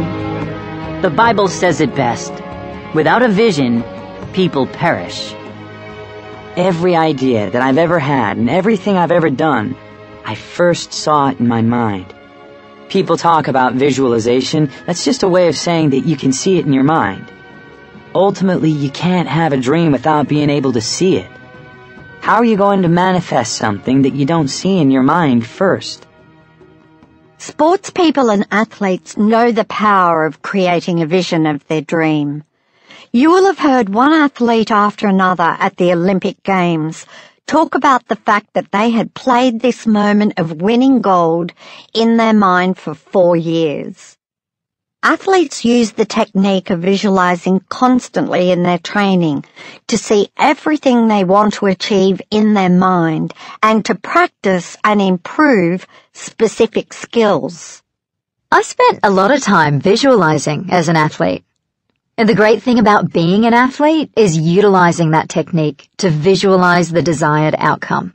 Constantly we work with visualization, with envisioning what we could become. All power comes from the ability to envision what you want to become. How could you possibly get there unless you can picture it? You wouldn't know when you had arrived. Michael Phelps, the Olympic champion swimmer, says, When I'm about to fall asleep, I visualize to the point that I know exactly what I want to do. Dive, glide, stroke, flip, reach the wall, hit the split time to the hundredth, then swim back again for as many times as I need to finish the race. The sporting world has latched on to one of the most powerful practices to create what we want. Create a vision in our mind of the exact outcome we want. Despite all the success that's achieved in sports by using this technique, People generally are still unaware of the fact that they can use this same technique to create success in their life. I could only visualize one outcome, and that was standing on the podium with a trophy above my head being sprayed with champagne. That's all that mattered to me. The most important part of creating a vision is that you get a picture in your mind of the end result or the outcome you want Get every other detail out of your mind of how you're going to achieve it and just see the end result of your dream. Layne Beachley chose the vision of standing on the winning podium, being sprayed with champagne, because that vision clearly represented the outcome she wanted, becoming a world champion. I love drawing and doodling and sketching, and I spend hours filling up notebooks. I scribble down the things that I want to achieve and do. When you sketch elements of your dream, like Michael Acton Smith, your mind immediately forms a vision from your sketch. When you write notes about your dream, your mind automatically forms a vision from your notes. Either way, you're visualizing. In my life, whenever I have to do something I've never done before, I never think of going into it without first having visualized the outcome I want. I play that vision over in my mind and feel the excited feelings as though it has already happened. I don't think about how I will do it, I just visualize the outcome I want. This technique is one of the most powerful and little known abilities that human beings have to create whatever they want in their life. Because your subconscious mind loves pictures, when you have placed a picture in your subconscious mind, it must do everything to make it materialize. My dream was always in my mind. Right from the beginning, I was living with my dream alive in me, acting it out even when it was just tendrils of thought. My actions arose from the thought that my dream had already happened, and from my actions I could see the results arise. Success is achieved twice, once in the mind and the second time in the real world. Azim Premji, Indian business tycoon. Virtually everything I've done in my life is not as a result of what I've studied or of how hard I worked. It's a result of rising and knowing I'm already there. Like Peter Foyo, I know visualization gets us to where we want. When I was making the secret film, I visualized the outcome I wanted multiple times during the day. I saw the outcome so clearly in my mind that it felt as though it had already happened. There's no doubt in my mind that visualization was the most powerful thing I did to help make The Secret a huge success. People think you're an outright liar when you're visualizing because they think, that's not happening, that's not here. Oh yes it is. Absolutely it's here because if you can think it, it can happen. Once you have got good at visualizing the outcome of your dream in your mind, where you feel as though it has already happened, you can use the same technique for any smaller steps or goals you want to achieve on the hero's journey. But even if you only ever visualize the end result of what you want, your vision ensures that you will get there somehow, some way. Because my goal was straight A's, I went to the office in my school and I asked them to print out my transcripts. They said, You just started, you don't have any. I said, No, I want the blank ones. They printed it out with my name on it, and I sat in the staircase and wrote my grades in. I felt like they already existed in the future. I just had to catch up with it. When I did homework, I would take out the straight A's I decided I would have and put them on the side so I could look at them while I was working. I really worked from a feeling that it was already real somewhere. In your life, you can use visualization for any situation you want to go well. You can visualize the outcome of exams, auditions, interviews, meetings, pictures, proposals, making a speech, meeting your in-laws, taking a trip, or your boss giving you the biggest raise in the history of your company. Make sure you visualize where you want to be at the end of this year and maintain a yearly vision with every new year. In addition, create a bigger vision of where you want to be five years from now. Just watch what happens with your life. Sara Blakely, founder of Spanx, says, You've got to visualize where you're headed and be very clear about it. Take a Polaroid picture of where you're going to be in a few years. I wake up in the morning and I just am. In other words, I don't turn on the TV, I don't get my cup of coffee, I don't do anything. I just sit there in bed, and I just am. There are no decisions to make, no phone calls to make. Just for five minutes, I try and clear my mind, and I am in the here and now. This way, your mind goes forth during the day uncluttered. And if you have a dream you're trying to achieve, in the last couple of minutes, you think a little bit about that, and how much you want it, why you want it, and things you can do to help get closer to it. When you stop the franticness of the day before it starts, and you get your mind into a state of complete relaxation, the vision of your dream will slide straight into your subconscious mind. It's much like shutting down your computer to install a new update or program. Updates cannot be installed while your computer is running lots of other programs. And likewise, your subconscious mind cannot receive your vision if your mind is on the run with other things. But when you shut down your mind through relaxation, your vision will be successfully installed. When you use visualization successfully, the people around you will wonder how it can be that all of a sudden everything is going your way and everything works out for you as though you're some kind of superhuman.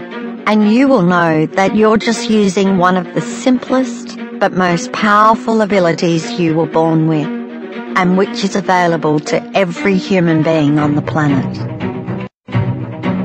The mind of a hero. You wake up in the morning and you've really only got one major decision. It's not about the clothes you're going to wear. It's not about how you're going to do your hair. It's, are you going to have a good attitude or are you going to have a bad attitude? Because a positive attitude is so critical. I'm very lucky to naturally be an optimistic person, and I think that helped enormously.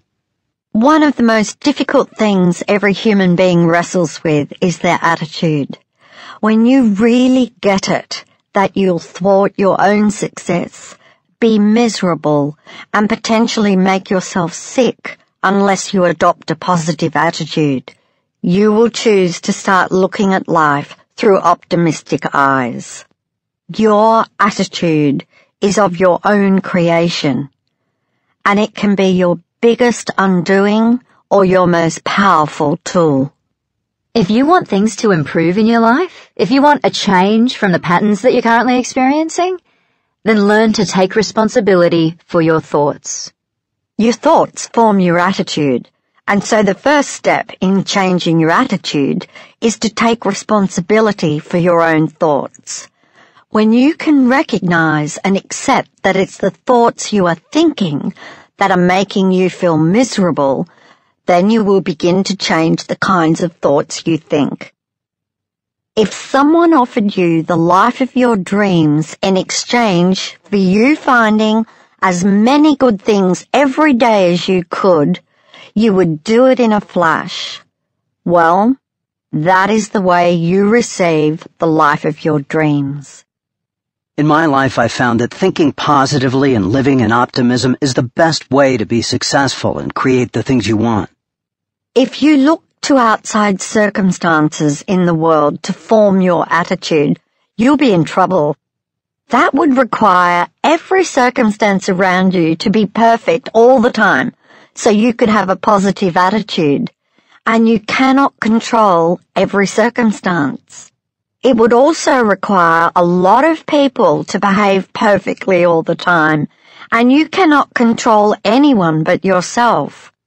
If you think about it, you would actually need all seven billion of us to shape up into what you want so you can have an optimistic and positive attitude. You simply cannot look to outside circumstances to dictate what kind of attitude you will have. If you do, you will always find a circumstance or a person that will give you a reason to have a negative attitude. In order to become your most powerful tool, your attitude must be dictated from within. I've been optimistic in the worst of circumstances. Everything has a positive or a negative to it. You can find both in every single situation in the world. The person who's going to succeed is the person who's going to be able to look at things in a positive manner first. Just as with Mastin Kipp and Peter Burwash, you have the freedom to choose to be optimistic or pessimistic. You can peel off your old attitude like a suit of clothes and put on a brand spanking new attitude every single day. It's as simple as that. Something good is just about to happen. My mom always said that something good is just about to happen. I didn't realize this early on, but I've lived my life with the thought that no matter how dark or how difficult things become, there's this consistent hope that it's just about to turn. My mom gave me the gift of that. It keeps me positive and keeps me always looking toward things in an optimistic manner. I've been very fortunate to live my life with that thought. Because of the duality on Earth, there are always going to be both positive and negative experiences. But if you consistently look for the good and maintain a positive attitude despite outside circumstances, you will triumph. And there are no better words to remember to help you maintain a positive attitude than Pete Carroll's mom's words. Something good is just about to happen. If you always know that something good is just about to happen, your optimism will never waver for long. My spirituality helped me think positively even when things look bleak. People who are happy and successful think more about the good things that can happen, think more about having happiness, having money, and creating a rich and meaningful life than they do the opposite of those things. I have encountered so many well-educated people from wealthy backgrounds and of a high social standing who are not able to succeed because of their negative attitudes. Negativity pulls one down. G.M. Rao lifted himself up with positivity. A pessimistic attitude toward life means a miserable life. At some point in your life, you've no doubt encountered someone who is pessimistic about everything. And when you're with him or her, it sucks the energy and the joy out of you. Well, that's precisely what a pessimistic attitude does to you. If you are a pessimist and you are depressed all the time, that is going to kill any dream. On the other hand, I'm sure you've known someone who is always up and has a cheerful and bright attitude toward life. And when you're with him or her, you also feel fantastic and full of life. And that's what an optimistic attitude does to you. Show me one pessimistic person who is deliriously happy in every part of their life. It's not possible. Because even if they had everything they wanted, the glass would still look half empty to them. Two people are living side by side, and one person wakes up in the morning and throws open the window and says, Good morning, God. And then the person next door, the pessimist, says, Good God, it's morning. Just ask yourself whether you think blaming and complaining can transform a person's life into success and happiness. Do you think whining and criticizing can fulfill a person's dreams and give them everlasting happiness? One of the rules that always applies in our program is no whining, no complaining, and no excuses. They're not the kind of thought patterns that support. That's not going to take us at all where we want to go. Do you ever see Superman whining? Do you ever see Indiana Jones complaining? Do you see James Bond blaming others for his lot in life? You'll never see movie superheroes display any of these traits because the movie makers know that the superhero would immediately be diminished in your eyes and would no longer be a hero. And the audience would instinctively feel something was wrong. How can such a negative person become a hero? And the answer is, they can't. Blame, resentment, whining, and complaining are excuses we make when we're not living the life we came here to live.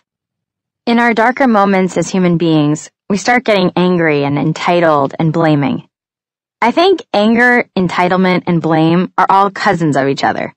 They're about what you should have had and what you're lacking and who should have given it to you. I grew up thinking nobody owed me anything. Realize that anything you have, you're blessed to have. Because it could just as easily disappear. That's a much better attitude to have. Because we see people around us who blame and resent and whine and complain, we can get the mistaken impression that it's okay and won't harm us. But all of those negative emotions will pull you down and down and disempower you until you feel hopeless. None of those emotions can ever fill you with the happiness you want and deserve None of those emotions will lead you to your dream. None of them are befitting of the hero that you are. It's impossible that you're going to be all cheery, happy, smiley, everything's perfect all the time. There's going to be jealousy, there's going to be envy. All those negative things are going to occur at moments. That's just part of being a human. But do you give them ground to grow? Or do you push them out and fill them with the positive things? What do you spend the majority of your time doing and thinking and saying? That's what's going to bear the fruit for you. A positive and optimistic attitude doesn't mean you don't have occasional down days. You will have some down days. It's not about the occasional down days, though. It's about how many of the 24,869 precious days of your life you're enjoying because of your positive and optimistic attitude. Try to operate on a daily basis with a quieted mind, not a mind that's always second guessing and wondering if you're worthy. Negative thoughts like, I don't know if I can handle this, this is too big for me, I've never been here before, in the past I've come up short here or there, draw your focus away from performing like you're capable. We're likely to carry those thoughts with us, and we won't be as good as we could be. Be aware of how you're feeling.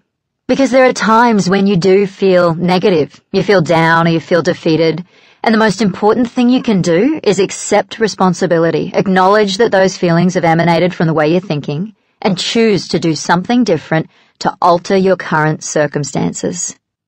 If you're feeling down, then do something that makes you feel really good and lifts your spirits.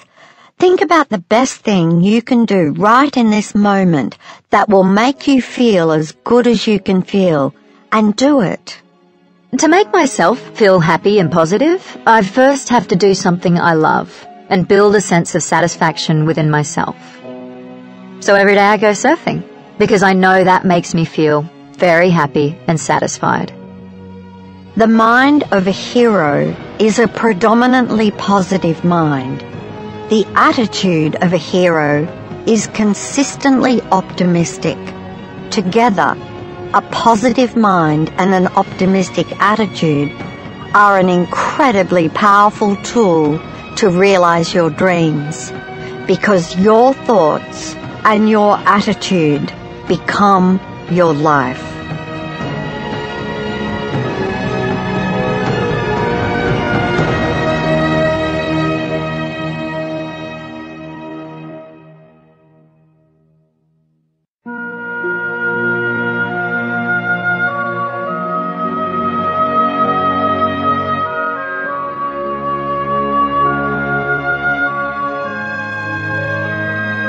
The heart of a hero. Courage. Fear is an ever-present emotion in us. It's part of what made us evolve. You can never get rid of fear because fear is a physiological response. You can hook someone up to a machine and you can see you're having a fear response. You're always going to have a fear response. Although we are each an individual, we are all human and so every one of us has the full gamut of human emotions, such as fear, uncertainty, doubt, joy, passion, hope, and belief. At different times on the hero's journey, you will experience every one of these emotions. Just because someone is successful doesn't mean they didn't experience the same feelings of fear, uncertainty, and doubt Fear is the same for them as it is for you. Doubt is the same for them as it is for you. The successful person just decided to continue following their dream despite feeling those emotions. They didn't allow their fear or doubt to paralyze them or stop them from achieving their dream. Whether your dream is big or even if it's just a small dream, it's still outside your comfort zone, and stepping outside your comfort zone equates to fear. But fear is perhaps one of the most misunderstood entities in human development. From a biological perspective, fear is designed to keep us safe. fear is self-preservation. We experience two kinds of fear as humans, but it's important to understand that our physiological instinct that protects our survival is not the same as psychological fear. Psychological fear is something we create with our own minds when there is no danger to our survival. You may have experienced this kind of fear if you've had to take a final exam that you felt your future depended on, or if you took a test for your driver's license. You may have felt psychological fear if you competed in a sporting event at your school, or if you had to stand up and make a speech in front of a lot of people. In all of these situations, there was no threat to your life. The fear you felt was psychological, a fear created by your own mind. Most of us will only face psychological fear on the hero's journey, but some, such as an athlete performing an extreme sport, may experience both kinds of fear at the same time. People say you're not scared. Actually, no, I think I'm the most scared. I'm scared of those big waves. But your imagination is always greater than the reality. Subjecting yourself to the thing you fear is probably the most important way of becoming acclimated to it, becoming intimate with it, and all of a sudden, it doesn't have the power that it had. In fantasy movies, you see the hero face dragons or monsters that he or she has to slay to accomplish their quest. In movies, the hero's quest represents our life and what we have to go through in order to fulfill our dream. The monsters are the doubts and fears of our own mind, and just like in the movies, we have to overcome them and not let them prevent us from fulfilling our dream. The very act of doing something that is out of your comfort zone slays the monsters and dragons of fear and doubt on the spot. If you want to live a fearless life, never leave your comfort zone. Ever. Ever. If you want to grow, and ultimately what's going to make you happy is growth, you will be required to constantly step outside your comfort zone. So what we want to understand is that if I'm afraid, that's a good thing. When you push past your comfort zone despite the fear, fear lessens its grip on you and your courage expands. The word courage comes from the French word coeur, which means heart. When you go ahead and do something despite the fear you feel, courage arises from within your heart. This is how you acquire courage. It's not the other way around where you have to find the courage before you act. Courage comes from performing fearful acts. And as you build courage, you'll find that things you once thought were scary don't seem as scary at all. If you have the courage to set a goal, and then the conviction to pursue it and achieve it, you will step outside of your comfort zone every day. So it's a necessary part of success to be willing and courageous enough to step outside of your comfort zone. There's a great book called Feel the Fear and Do It Anyway. I read the title, and that's all that I read. I didn't need to read the rest of the book. I got it. And that's really the best advice. Things still scare me. Uh, giving a speech in front of hundreds of people is scary. Meeting someone for the first time that you respect is scary. But you only really progress and evolve and get closer to your ultimate dreams by putting yourselves in these fearful situations. Was it Eleanor Roosevelt who said, do one thing every day that scares you? I just love that philosophy. Preparation lessens your fear. You can easily understand that the more prepared you are before a test, exam or speech, the less fear you will have. Well, when you prepare your mind for something you're about to undertake by visualizing the outcome, you will reduce the fear you feel. You might also discover that the moment you begin to do the fearful thing, the fear disappears immediately. I've found this to be true in my life over and over again. The fear of doing something is much worse than the reality of doing it. And when you've been practicing visualization, your final reward will be the outcome turning out exactly the way you pictured it. Taking risks.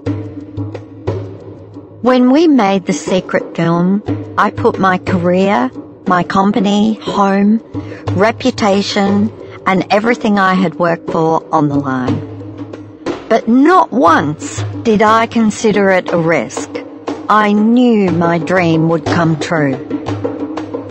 I did put everything on the line to achieve my dream.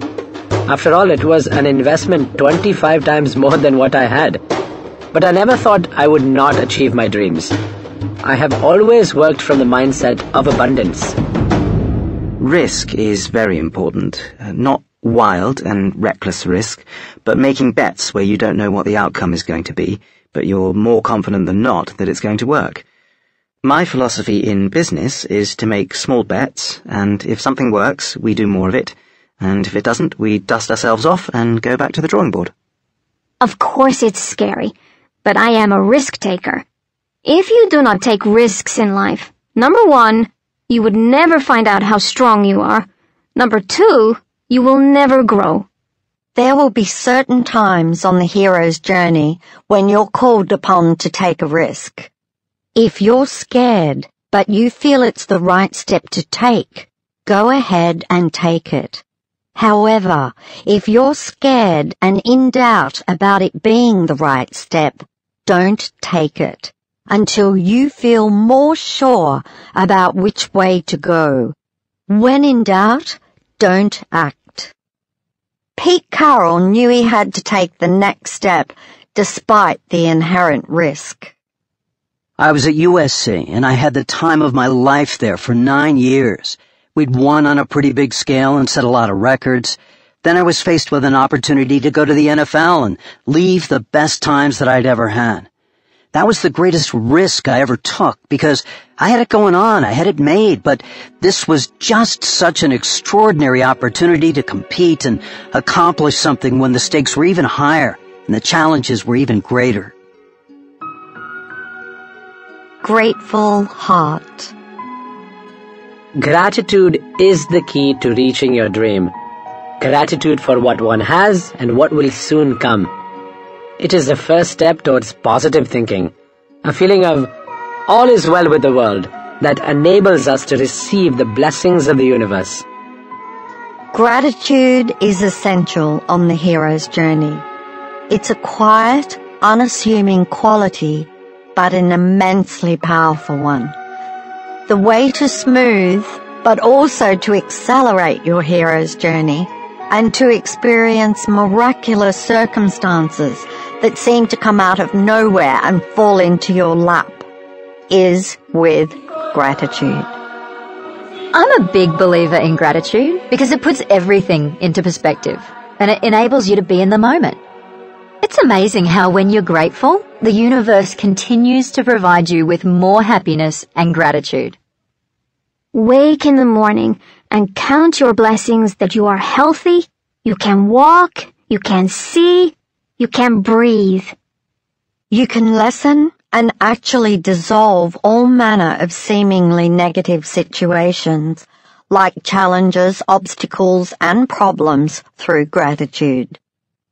If you're facing a problem, or you've hit a dead end and you can't see any way out, the act of deep gratitude will clear the way. It's as though your gratitude causes the universe to issue a free pass that enables you to jump over the obstacle. Suddenly, you find the obstacle you were facing diminishes or disappears, and your way ahead is made clear, or you find the solution and with it the obstacle is overcome. Gratitude has to be on the forefront of everything you do. You have to be very grateful, number one, for being here. If you have any positive things in your life, be grateful for them and they multiply. The more grateful you are, the more things multiply. And the more people, events, and situations that are not that wonderful for you dissipate, disappear, or vanish. It's amazing how quickly things that are not to your favor vaporize the more grateful you are. I'm a witness to this countless times on all levels. If you instill yourself with a grateful heart from the beginning of your journey and you maintain your gratitude along the way, you will make your journey that much easier and any difficulties will be reduced dramatically.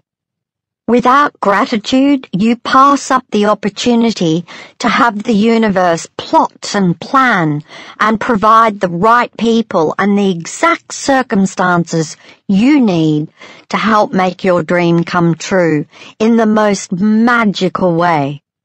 Instead, you're going to have a heck of a rocky ride. And in addition, you miss out on the blissful feeling that comes with a grateful heart. What's so great about gratitude is that it gets you outside of yourself. You focus on what you have, you focus on blessings, you focus on other people, and that's ultimately where fulfillment comes from. When you're grateful, you're not focusing on you. It stops the misery of me. The reverse is true as well. If you dwell on the negative, the problems and the issues, you spiral down and down and just make yourself even more tense, upset, and unhappy. Gratitude is essential for fulfillment. I know plenty of people who are, quote, successful, who are not grateful, and I would not want their lives. I believe gratitude is a state of mind that has to be constantly maintained. I don't believe. I know. I know this for a fact. In any given moment that I haven't maintained my level of gratitude, I clearly see a difference. When I'm having a down day or a bad day, if I'm sitting in my bath at the end of the day or having a coffee, I go through the things I'm grateful for my health, my friends, my family. It suddenly lifts your mood, and I think most successful people understand that. When we were making the secret film, I never got out of bed in the morning until I had done 10 to 15 minutes of gratitude. Even my password on my computer is one that reminds me every day of how grateful and happy I am for all the things that I have. One of the most important things that I got from my mom was that on Christmas Day, starting when I was five and could write, I could not go outside and play until I wrote thank you notes to everybody who gave me a present. To this day, I still try to handwrite a thank you note to someone every single day. I was surfing in Noosa, and the waves were so beautiful, and the ocean felt so warm and silky. I felt so nurtured, and I was having so much fun that I stopped in my tracks with this amazing sense of gratitude coming from my heart. And I just looked out to the sea and thought, this has been so much fun.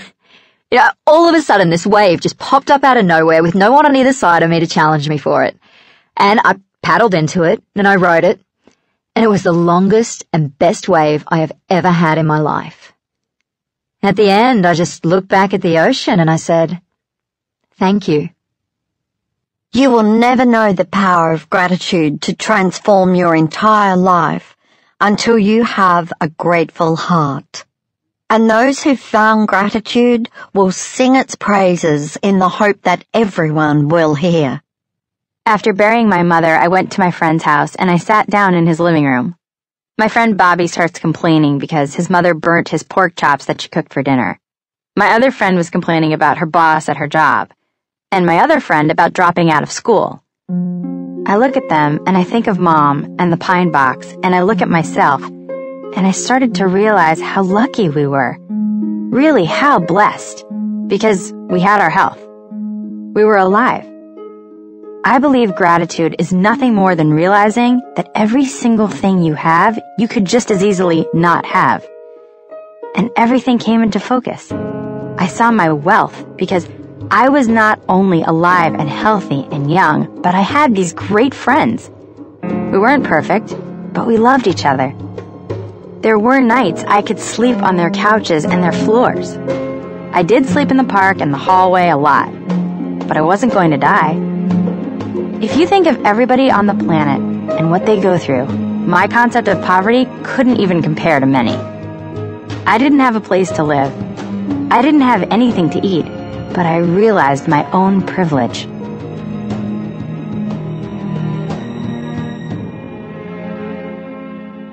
Intuition. I spent six years studying leaders around the world, and 99.9% of them said intuition is more important than logic. Logic is what you've learned. Intuition is who you are. It doesn't mean that you can't be practical and use logic and common sense, but that first emotional feeling is very, very important. As Steve Jobs said, have the courage to follow your heart and intuition. They somehow already know what you truly want to become. Intuition is the primary tool you need to make your dream a reality. Without trusting your intuition, you're going to fall flat over and over again. Intuition is a flash of knowledge that comes with a very strong and compelling feeling when we receive it. The feeling urges us to go a particular way with something happening in our lives, or sometimes to not go a particular way. While the feeling is always immediate and strong, people often second guess the incredible communication they've received and allow their conscious mind to talk themselves out of listening to it. I am a big believer in gut instinct. A lot of people see it as just mumbo jumbo and nonsense with no data to back it up. But I believe there must be something there because our subconscious picks up on so much more than our conscious brain, and the way the subconscious speaks to us is through our gut. When you have a feeling about someone or a, a situation, it is very, very important to listen to that. From my experience, it's paid off far more often than it hasn't. While science hasn't yet discovered what our intuition is or where it comes from, in ancient teachings it's revealed that intuition is knowledge that comes from a higher level of consciousness called the universal mind. The knowledge is transmitted through vibrations to our subconscious mind. The vibrations are then transmitted to the brain and to particular endocrine glands in our body, which interpret the knowledge in a way that we will understand. This explains why when we get an intuitive impulse, it comes as an impression or a feeling in our stomach or around our heart. Put simply, your intuition is communication from the universe. From the perspective of the universal mind, what's ahead can be seen exactly, and the universe is inspiring you to follow a particular path. Don't second guess the communication when you receive it, no matter what evidence there is to the contrary. Trust in your intuition because the universe knows the way. I hire people mainly off intuition how I feel about them. If I'm in a business situation and I want to consider doing business with somebody, I go for intuition. Because the soul feels. We underestimate the value of our intuition. We fail to trust in our instincts. When I've made some of my biggest mistakes, it's because I haven't listened to my intuition, or I've listened and I've questioned it. It's important that you learn to trust in it. You might have unknowingly shut down your intuition, as many of us have but you can reawaken your intuitive abilities. It's the very use of our intuition that strengthens it, which is the reason why you hear successful people place so much importance on it. They trusted in their intuition, followed it, and acted on it, and by so doing their intuitive abilities expanded enormously. The majority of successful people use their intuition with almost every decision they make. Whenever I have an instinct, I act on it. What's interesting is that as you become conscious of acting on it, you become better at it. It's actually a life skill that you can get better at. Outside of just trusting in your intuition and following it more often, there's an easy way to increase your intuitive abilities. Ask questions. When you ask a question, you receive the answer through your intuition. You can start with easy questions where you know you will see the confirmation of the answer quickly, like, what time will a person arrive? Or, what colour clothing is a particular person going to be wearing today? When your phone rings and it's not in front of you, ask, who's calling me? Sometimes your own mind will try and give you the answer, but if you can keep your own mind still when you ask the question, so your mind is in receiving mode, with practice the name of the person calling will flash into your mind. Asking a question or for a solution uses the very same process as when the answer is transmitted to you, but in reverse. Your question is transmitted outward to the universal mind. Perhaps you will now understand how it is that when entrepreneurs ask for the perfect idea that the world needs at that time, they receive an idea that ends up being exactly what the world needs at that time. As you improve your intuition, you'll start to get more and more intuitive urges and inspirations to do particular things. And when they prove to be correct, like many successful people, you will trust in your intuition and know it to be one of your most powerful abilities.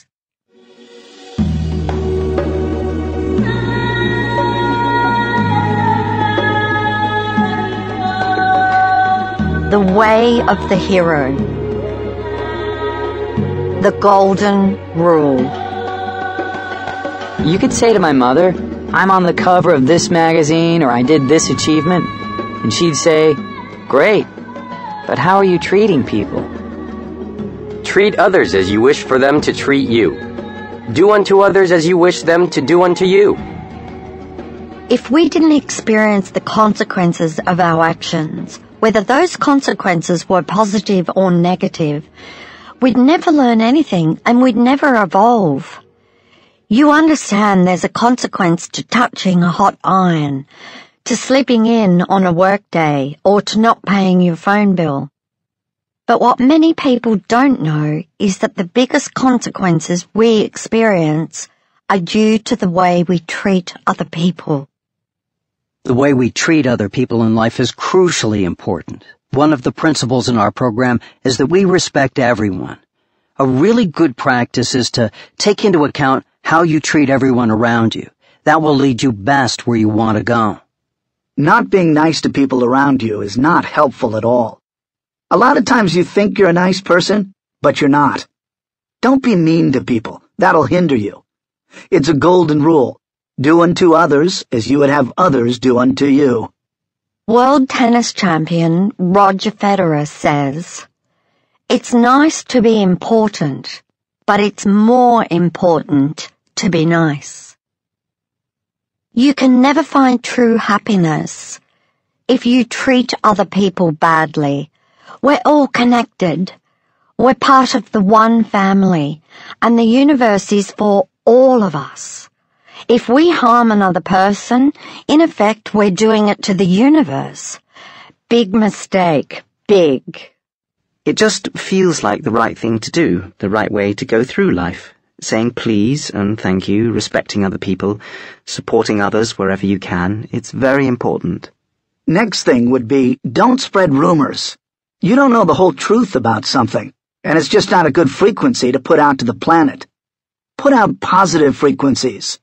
You put out negative ones, it's going to slow you and everything around you down. If you gave a person a gift and they were rude, didn't say thank you, and were unappreciative of your gesture, you wouldn't buy another gift for that person.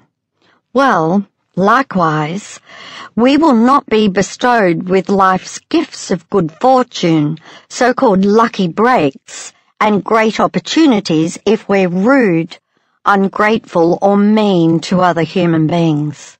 If you treat other people kindly, no matter what the circumstances, the universe will return the kindness to you. It's simply the way life works for every one of us. It's an amazing thing. As you give, and so are you generous, so will you be given to, and so will generosity be given unto you. You tell people that, and it's almost too simple of a thought for them to comprehend. Be aware of the fact that every choice you make, every word you speak, every action you do, has a consequence and an impact on others. I believe in karma. What you put out to the world will come back to you. In other words, do good deeds. And always pay your taxes. Film director Tom Shadyac says, Newton's third law of motion or karma, however each of us chooses to name it, is something I've been aware of for years. I call it cause and effect. The energy that you put into the world comes back. In other words, the fruit is in the seed. You can't sow an apple seed and expect to get an avocado tree. The consequences of your life are sown in what you do and how you behave. There are a lot of people who say, I don't believe in karma. Well, it's not whether you believe or not. It's going to happen. The further you go on the hero's journey, the more you grow and the more your mind expands. Your mind will expand to such an extent that you begin to perceive things beyond everyday living that you never saw before. You see that if you do something good or kind for someone else, something fantastic happens for you. And you see that if you behave badly towards someone else, something untoward happens to you. You start to perceive how life works through observing the results of the actions of yourself and others around you. You can see the patterns. You can see the inner workings. You can see life's rhythms. And where you were once in the dark, now you are beginning to see everything clearly. One thing I've been blessed with is what I call instant karma. If I say some snotty thing, I'll go right out and stub my toe or hit my head. I have this instantaneous payment for negativity.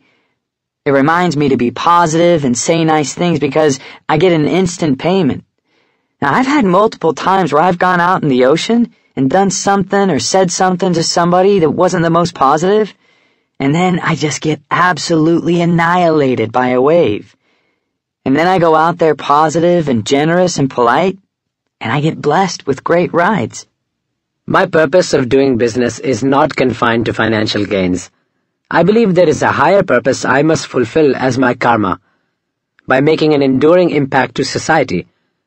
Business is service to society and the prosperity of any business will be in proportion to the value delivered to society. You already know that you don't feel joyous or happy when you speak badly of another person. That awful feeling is telling you that behavior is far from the hero within you. And there are consequences to that behavior with our mental and physical health and our happiness. I don't want to do things that I know will hurt people for one reason. Because of me. Because I will get so upset and it will eat me inside so bad that it's not worth it for me. I am more harmed than they are harmed. And if I can do something good, I will do it. And I don't need anything in exchange. Tom Shadyac continues. When you do a loving thing, when you put out positive energy, you feel happy. This is how human beings are wired. So the goal of karma, if there is a goal, is not to put out positive energy in order to get some positive energy back. The goal is to put out positive energy and feel positive about your life. That's where the work is. That's why the true revolution is a personal revolution. Humility. If you're on a hero's journey, it's really important to maintain a sense of groundedness and humility. Become genuinely humble, because if you are humble, you're going to listen. If you listen, you're going to learn, and if you learn, you can teach. My teacher told me that the higher you go, the more humble you must be. He said humility is to always remain approachable, Just because you're successful today, you have a bestseller today, doesn't mean that that success is guaranteed. My dad would always tell me that the biggest reason you will fail is if your past success goes to your head. Whether we go the way of the hero is decided by our behavior and the way we treat others. The hero is kind and humble, and so the way of the hero is one of kindness and humility. Our behavior will either be stepping stones that propel us forward on our journey to our dream, or stepping stones that take us backward. The choice is ours. Commitment. It was my intention, my commitment, that even if a door was closed, I would bang on it. I would break the door, or I would get in through the window. There was no way that I would not make that happen. You automatically commit to something if you really want it enough. You don't even have to think about it. You just jump right into it. If there's a movie you're desperate to see, it takes no effort for you to commit to go to a theatre and see it. When you fall head over heels in love, you can't stop yourself from committing to see the other person. The one thing about the activities we pursue on the ocean is they're very committal. You don't kind of ride a wave. You either ride it or you don't. Every wave and every ride is a belief and commitment. You're taking that leap. Laird Hamilton knows about commitment. If you need inspiration to strengthen your commitment, then watch a video of Laird Hamilton committing to ride one of the world's deadliest waves at Teahupo'o on the southwest coast of Tahiti. Renowned as the heaviest wave in the world, Teahupo'o produces consistent barreling waves as high as 21 feet, as thick as a building, breaking over an extremely shallow and razor-sharp reef. The only way to surf Teahupo'o when it is that big is to be towed out on the back of a jet ski and released at speed. It was not until Laird had let go of the tow rope that he saw the magnitude of the double-walled monstrous wave rising up behind him. He had to make a split-second decision whether to commit to ride the wave or not. Had Laird not made the commitment to ride the wave, it's unlikely he would have survived the mountain of water and the treacherous reef below. Instead, Laird Hamilton broke the boundaries of what is possible and made surfing history. There's something about deciding that whatever you have at the moment is enough to do whatever it is you need to do. If you always think you're missing one more thing, if you think, I have to have this in order to, in order to, you're waiting for the right time. There is no right time. The right time is never in the future. It is now. And your full commitment is the cue that opens the doors to your dream. It will never happen the other way around. Until you make a commitment, you will only see walls. You have to really commit. You can't do it half-heartedly. When you really commit, every sinew in your body, your subconscious mind and your conscious mind, whether you're awake or dreaming, is working toward whatever you are trying to achieve, and that makes all the difference. When you commit, situations arrive for you. I'd like to go, I'm so smart, I thought of this. But no one's that smart. Those things were provided because you committed to the belief that it was possible. All of a sudden, you're presented with guides, and the universe provides. It's just like the great saying, when the student is ready, the teacher will appear. If you make a full commitment to your dream, doors will open. I actually think that doors have always been there, but when you fully commit, you see them. Doors opened when my commitment became a surety. I can quote the instance when we bid for the Delhi airport. We set out to build the world's best airport. This was our dream. The project attracted the world's best and the biggest airport developers, and the bidding process was highly complex and exhaustive. We prepared ourselves with some of the most competent partners, very knowledgeable experts, and a very motivated bidding team. We visited modern airports across the world and learned from them. We overcame every obstacle in the way and emerged as the only technically qualified bidder. But our journey did not end there.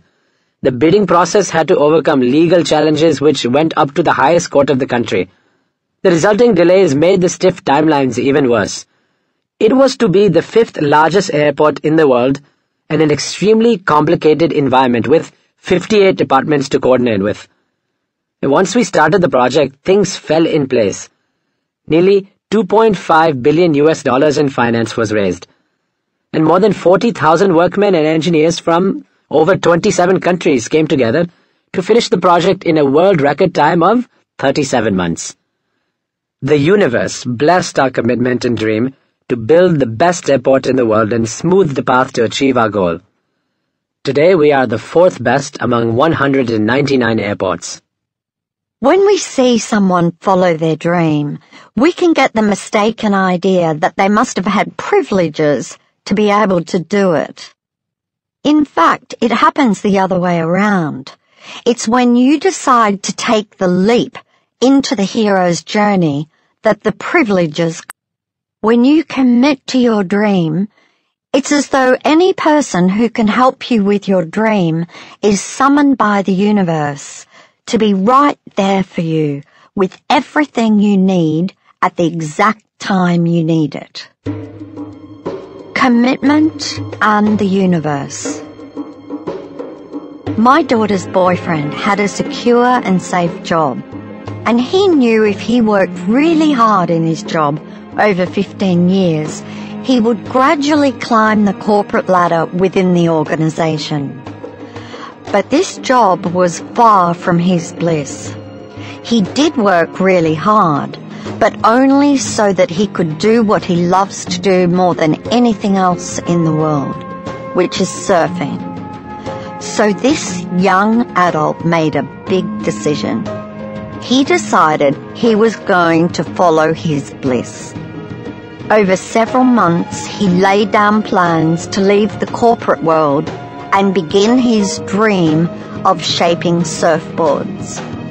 True to his word, he resigned on the exact day he had committed himself to. With nothing but a dream and his commitment to it, here's what the universe lined up for him. A successful local shaper let him come and watch him shape surfboards he was given free shaping lessons from another shaper who showed him how to make some shaping tools to save even more money. A graphic designer helped him with his logo for his new business, free of charge. A surf supply store gave him wholesale prices on items he needed. He was given equipment, lights, and shelving from his dad to set up his shaping studio.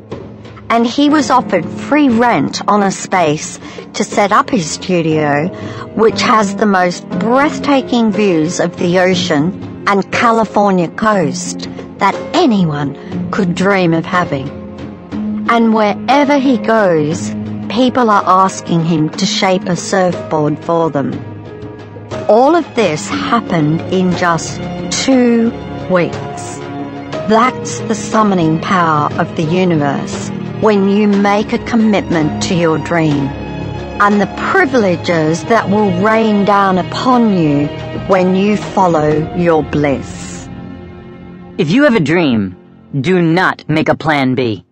Will Smith said that if you have a plan B, you're going to end up at plan B. You need to be all in on plan A. All your love, all your faith, all your energy, all your determination. You have a backup plan. You know that no matter what, if only my pinky works, I can still pull something off. But it's not one you're going to use.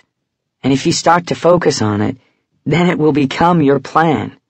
You can give yourself a reassuring safety net in your mind by knowing that no matter what happens, you'll be alright. But if you seriously create a plan B, you risk that being the plan that your subconscious mind materializes. Give all of your attention and focus to plan A, and that will be what materializes. Determination. You have to be undeterred and relentless in your pursuit of your dream. Once I made a commitment, was born the determination to make it succeed. Not everybody has the same level of determination. When the obstacle shows up and the doubts start to creep in, not everybody has the same grit that drives them to stick to it. But the potential is there. When you tried to walk as a baby, you fell down hundreds of times. When you first tried to feed yourself, you put the food in your eye, on your cheek, and everywhere but your mouth. Learning how to talk was a long journey full of mistakes, but you never once considered giving up. Determination is part of your very nature. You have it within you, and you can find it again. By real bootstrapping, we managed to cobble together the cash to get the business going. But it's tough. Banks won't lend you money. No one is willing to take a risk on you if you've never done anything before. You just have to roll your sleeves up and find a way. If you have a burning desire for your dream, then you will have all the determination you need to make it a reality. There may be days when you feel a bit down. There may be days when you doubt yourself, or when you even feel you can't do it. But your burning desire will carry you through those days. A burning desire within you is a powerful force that overrides any temporary feeling of wanting to give up and provides you with a commitment and a determination that cuts through any difficulty you may encounter.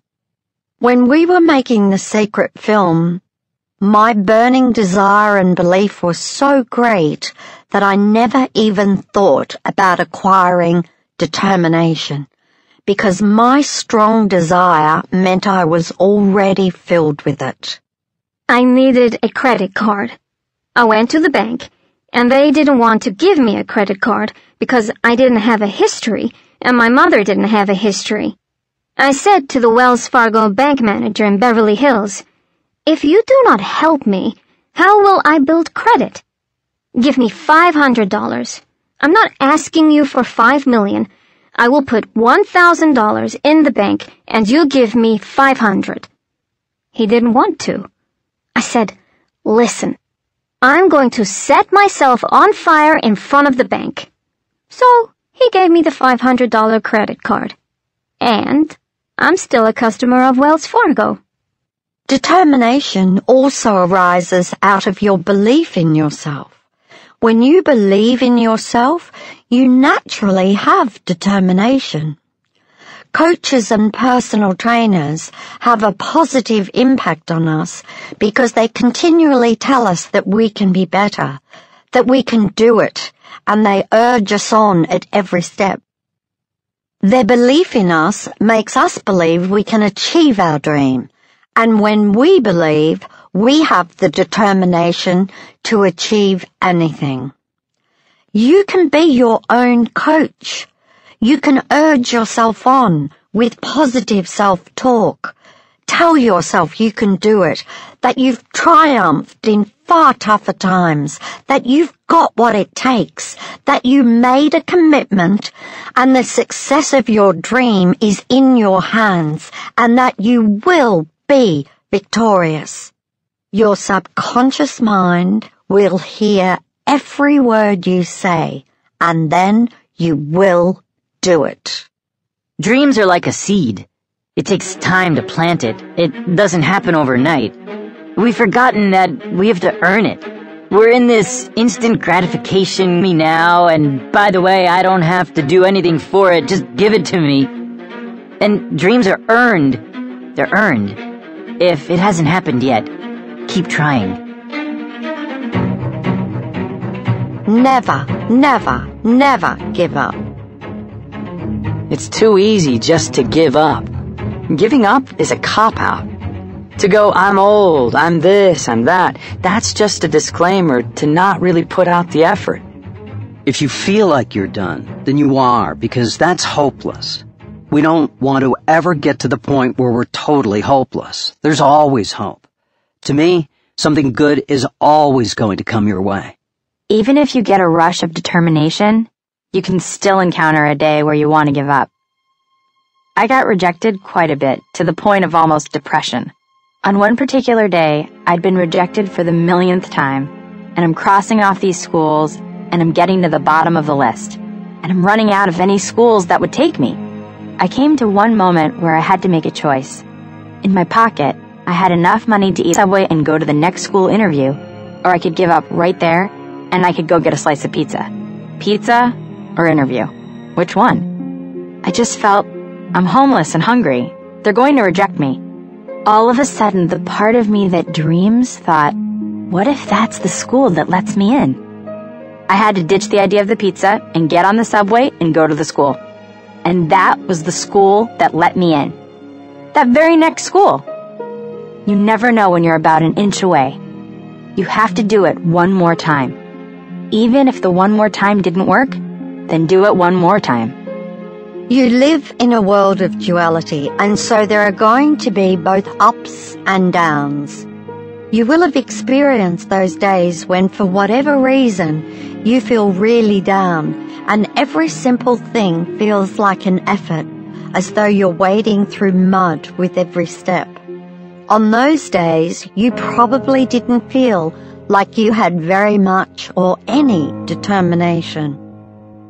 You will also have experienced those days when you feel incredibly happy and energized, when you feel on top of the world and like you can achieve anything. Well, that joyful, blissful feeling is one of the highest and most powerful human emotions you have. Because with it, you not only feel invincible, you are invincible. When you're full of joy, you are also full of determination. Because from the perspective of joy, everything seems easy. Seek your joy, follow your bliss, and you will find all the determination you need to achieve your dream. Part 3 The Quest the labyrinth. The journey itself will never be as you think. You have an idea of the destination, but you never know the route. Many people give up on their dreams or don't even begin to pursue them because from where they are standing they can't see the whole path to their dream. You will never see the whole path ahead and so you will never know how your dream is going to come true. No successful person has ever known how his or her dream would happen. They simply believed that it would happen and did not give up until it had. I never thought my life would look like it does now. I knew it would feel this way, but I never knew it would be this way. The path to your dreams is like being in a labyrinth. All you can see is the next few feet ahead of you. You can't see what's around the next turn until you go around it, and then you see the next few feet after that. Sometimes there are dead ends and you have to turn back. And sometimes there are shortcuts that you stumble upon as if by magic and which accelerate your passage. The path to your dreams unfolds in exactly the same way. No one can see the whole way. You've just got to be willing to put your first foot forward and go on that journey. The process of living your dreams is all about the adventure, to see what's next. No one you look up to, no person who inspires you, started a journey with a certain outcome. They may have had an idea, intention, or end goal, but they had no idea how they were going to get there. Being in a labyrinth is the very adventure you wanted to have. You didn't want to see everything, know everything ahead, and be able to make your dreams come true with a snap of your fingers. You wanted the challenge of the journey, because only through overcoming the challenges would you have the real happiness and fulfillment that every human being is searching for. There are things that will not work the way you put it down, and you have to be prepared through your strategy to change, to take another road. It's like a labyrinth. You go and you find a dead end. Well, you turn back and you find another one. But it will still take you to point Z to finish your dream. When you are on the path to your dreams, a wall might suddenly appear and you feel like you've hit a dead end and you're finished. But just like being in a labyrinth, no matter how things appear, there is always another path you can take. When you know that the success of your dream is at the center of the labyrinth, you will not be in the least bit daunted by any unexpected twists and turns, because you will know that your success could be around the very next corner, and that's exactly how dreams come true. Realize that it may not come all at one time, but if you really want something, it's a cinch by the inch. It's hard by the yard. Little steps along the way. I understand people are up against a lot. But even in circumstances of great constraint, you can still do one thing. It's like that Theodore Roosevelt quote Do what you can with what you have, where you are. You can pick one thing and dedicate yourself to that. And even if it takes a long time, inch by inch and choice by choice, you will carve out a new life for yourself. It doesn't have to be the Hollywood turn on a dime dramatic thing that happens. One step at a time. Along your journey, remind yourself that one step at a time is all you need to take. One step at a time is all you can ever take. And no matter where you find yourself or in what situation, you can always take one step. You can make yourself feel overwhelmed if you let your mind get carried away with all of the possibilities of what could be ahead. The path to your dream will never unfold in the way you think anyway, so just keep bringing yourself back to one step at a time. Those words helped me enormously when we were making my movie The Secret. When my dreams seemed to be going way off the path that my human mind thought it should take, I brought myself back to just taking the next step. And by taking one step at a time, my dream came true. If you think you can see every step, you're mistaken. That's the mistake we make, thinking we need to, or even that we could, control everything. My mother went to Narcotics Anonymous and all these people do the serenity prayer. God, grant me the serenity to accept the things I cannot change, the courage to change the things I can, and the wisdom to know the difference. And that is everything. I couldn't bring my mother back. I could not change my father's HIV diagnosis. I couldn't control the weather. You could make a list of all the things you can't control, and if you put your energy into those, it'll go to the wind. Instead, you say, okay, what can I do? I've been taking one step at a time and occasionally stepped backwards or hit dead ends, but as long as you've got that big vision in mind and you believe you will get there, eventually you do. And, just like being in a labyrinth, one day you turn a corner and suddenly you've arrived. Just like that, your dream has come true. Once you have achieved your dream and you are looking back on the journey you took, you will realize that every wall forced you to take an alternate path, which led you not only to your dream, but often a far better version of your dream than you ever thought was possible. In fact, there are no walls. there is only the appearance of walls. There are no dead ends. There is only the appearance of dead ends. Both are actually only detours for the purpose of redirecting you to that greater version of your dream. In my journey of four decades, it happened a number of times that things did not turn out the way we had anticipated. I did not hesitate to stop and change course with an open mind. We experienced this recently when we acquired 50% of an international energy giant for over 1.2 billion US dollars. When things were not turning out the way we anticipated and our aspirations were not in congruence with our partners, we decided to opt out, even if it meant facing a temporary setback. However, in hindsight and subsequently, we have more than made up. If the purity of intention is there, the universe finds a way to reward you. If your commitment begins to waver at any time on the hero's journey through disappointment, rejection, or something that didn't go the way you thought it would go, those are the times when you need to remind yourself that you are always being moved to your dream in the way that will bring about the greatest outcome. As an entrepreneur, there's a term called pivoting.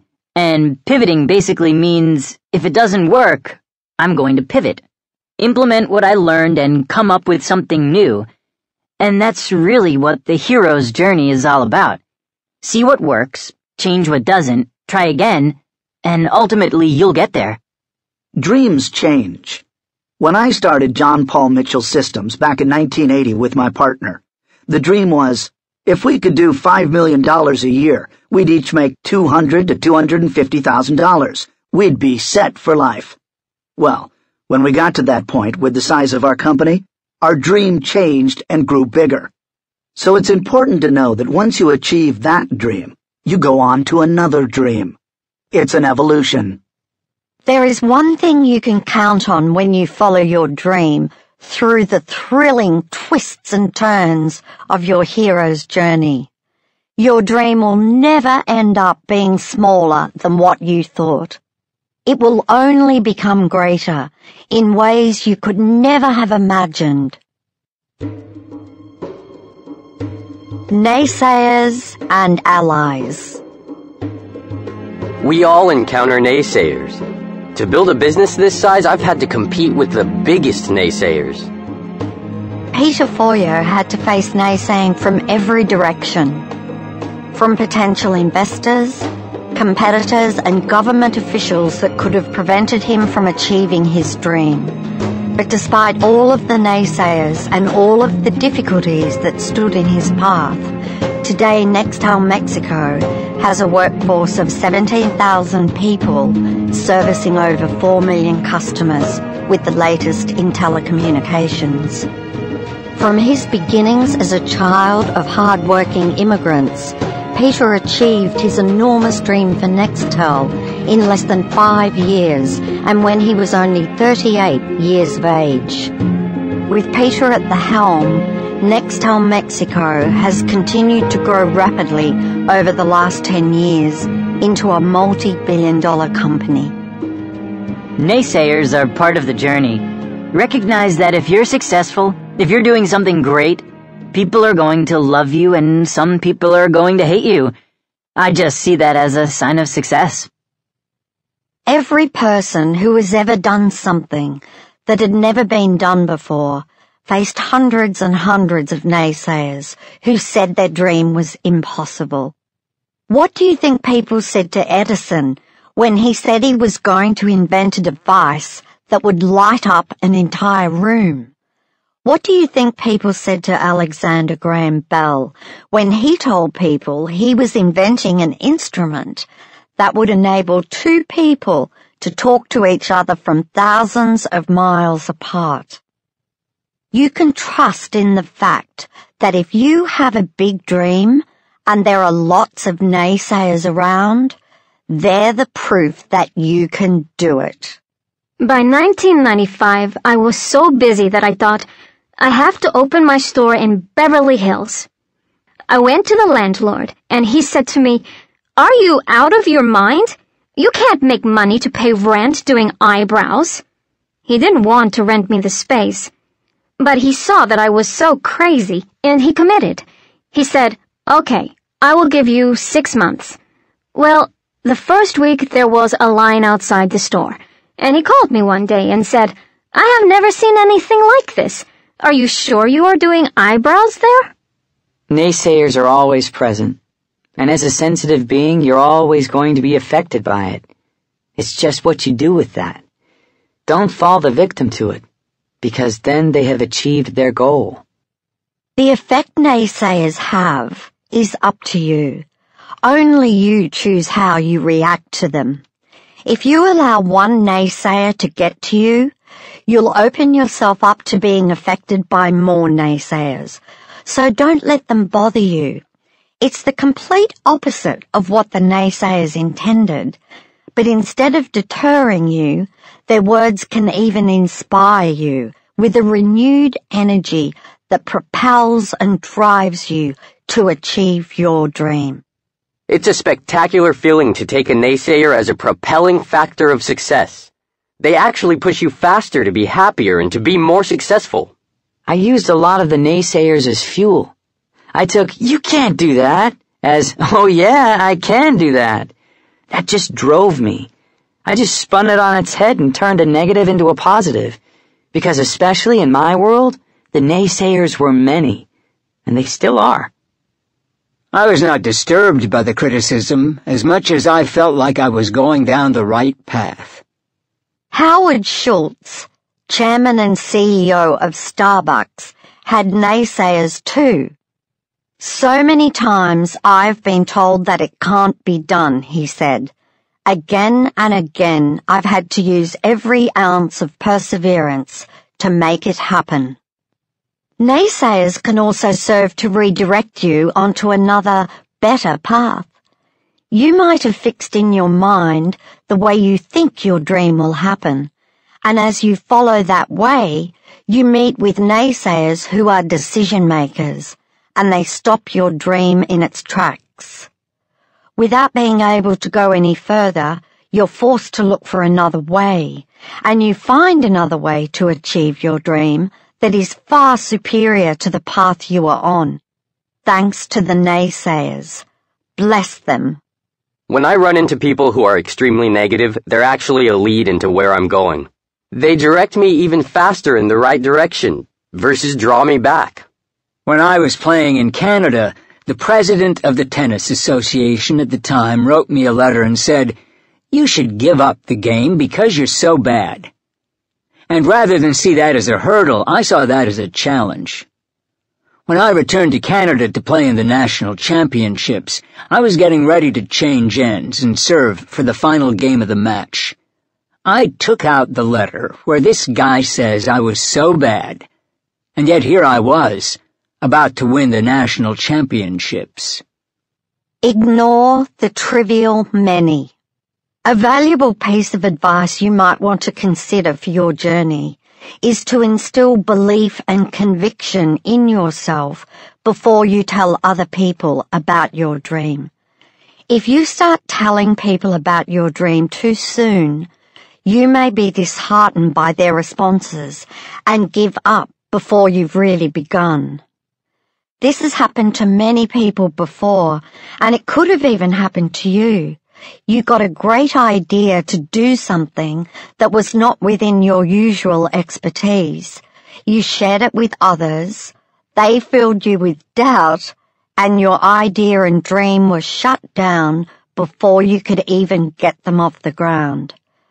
Then, as fate would have it, sometime later you discover that the great idea you once had has materialized in the world through someone else and it became a great success. Pay attention to the vital few. Ignore the trivial many. Be careful letting other people define things for you. People have their opinions, and they're very quick to tell you what's possible and what's impossible. It's unfortunate the conviction that people speak with. No one knows what's possible until they're already doing it. No one. Author Mark Twain advised, Keep away from people who try to belittle your ambitions. Small people always do that, but the really great make you feel that you too can become great. When I decided to make the movie The Secret, I didn't tell another person about my dream until I had it fully formulated in my mind. I spent four months researching, planning, and integrating it within me until I knew no one could dissuade me. Only then did I share it with others when a thousand naysayers could have said my dream would never happen and not one of them would have affected me. Work on your dream. Work on your belief in your dream and formulate your dream in your mind until the picture of it is crystal clear before you share it with others. When I was growing up, surfing at Manly Beach, there would be two guys on my right telling me to get out of the water and two guys on my left saying, we think you're great and we enjoyed surfing with you. So who do you think I'm going to listen to? Two guys on my left, of course. what gave me the strength to really grow from getting fired and come out of it stronger was that I didn't sanction the decision. I just didn't accept it. I challenged the thought that they were right, and I knew that there was a reason to feel otherwise. The truth about naysayers is they are often people who have closed their minds and are not living their full potential themselves. If they were living their full potential, they would know from their own experience that anything is possible. When I was in the 11th grade, in front of the whole class, our business teacher told my friend Michelle and me that we would never amount to anything. We knew he was wrong. We would definitely do something with our lives. Michelle became a superstar. That's Michelle Phillips of the Mamas and the Papas. I had many experiences with naysayers when we were making the movie The Secret, but one stands out above all the others. I was doing a presentation of the first cut of the film to a large group of television executives. It had taken a year of work and sacrificing everything I had to get to that point. And at the end of the screening, the executives responded to the film with not a single compliment. Instead, they were severely critical and found fault every aspect of the movie. I left the presentation in shock and in a daze I wandered the streets after leaving the building where the meeting was held. Eventually I pulled myself together and headed to the airport for the one-hour flight home. On that flight, I realized there was no way I could possibly resolve all of the executives' endless criticisms. And I didn't need to. By the time the plane landed, I had been inspired with just a few small changes that could be made to the movie. We followed those inspirations and put them into the movie, and they were the very elements that would go on to make the movie a huge success. Allies while you will almost certainly encounter naysayers on your hero's journey, you are also destined to meet many, many allies. Angels already in your life or who appear, even if only briefly, to support you and help you on your journey. I don't believe there is such a thing as a self-made success or a self-made person, because everybody's had help along the way. All successful people have achieved by standing on the shoulders of others. And it's important, no matter how successful you are, that you remember and realize who has helped you along in this journey. No one achieves a dream on his or her own. There are untold numbers of people who will support you and go out of their way to help you on the path to your dream. Of all the experiences we have on the hero's journey, the surprises of people you know and those you barely know who support and help you along the way are perhaps the most wonderful. I work with huge supporting networks, everyone from my family who has supported me to investors who put money into the business to employees who came to work for me. Ideas were just a sketch on the napkin. Setting an auspicious goal to become a world champion as an eight-year-old was obviously very challenging. And there were times when I wanted to quit and I wanted to walk away and put my hands up in the air and say, this is all just too hard. Fortunately, I had individuals in my life at those poignant times who picked me up and went, You can do this. I believe in you. And when someone who you respect and appreciate in your life tells you that they believe in you, it instills so much belief in you. It's really important that you have those people in your life. During the making of The Secret, there were an endless number of people who came into our lives and helped us with the next step we needed to take. In addition to all of those allies, I had a team of people who worked with me to create the movie, and without their dedication and support, my dream would never have come true. There was a time when I didn't have enough money to pay my team their salaries. I had mortgaged my home to the limit, taken out overdrafts, and maxed out every credit card I had to keep the production of the movie going. But I reached this heartbreaking day where I did not have the money to pay my team. Do you know what they did? A couple of my senior team members got together and withdrew cash on their credit cards to pay those who couldn't survive without their salary. Without a doubt, the people in my team were my greatest allies.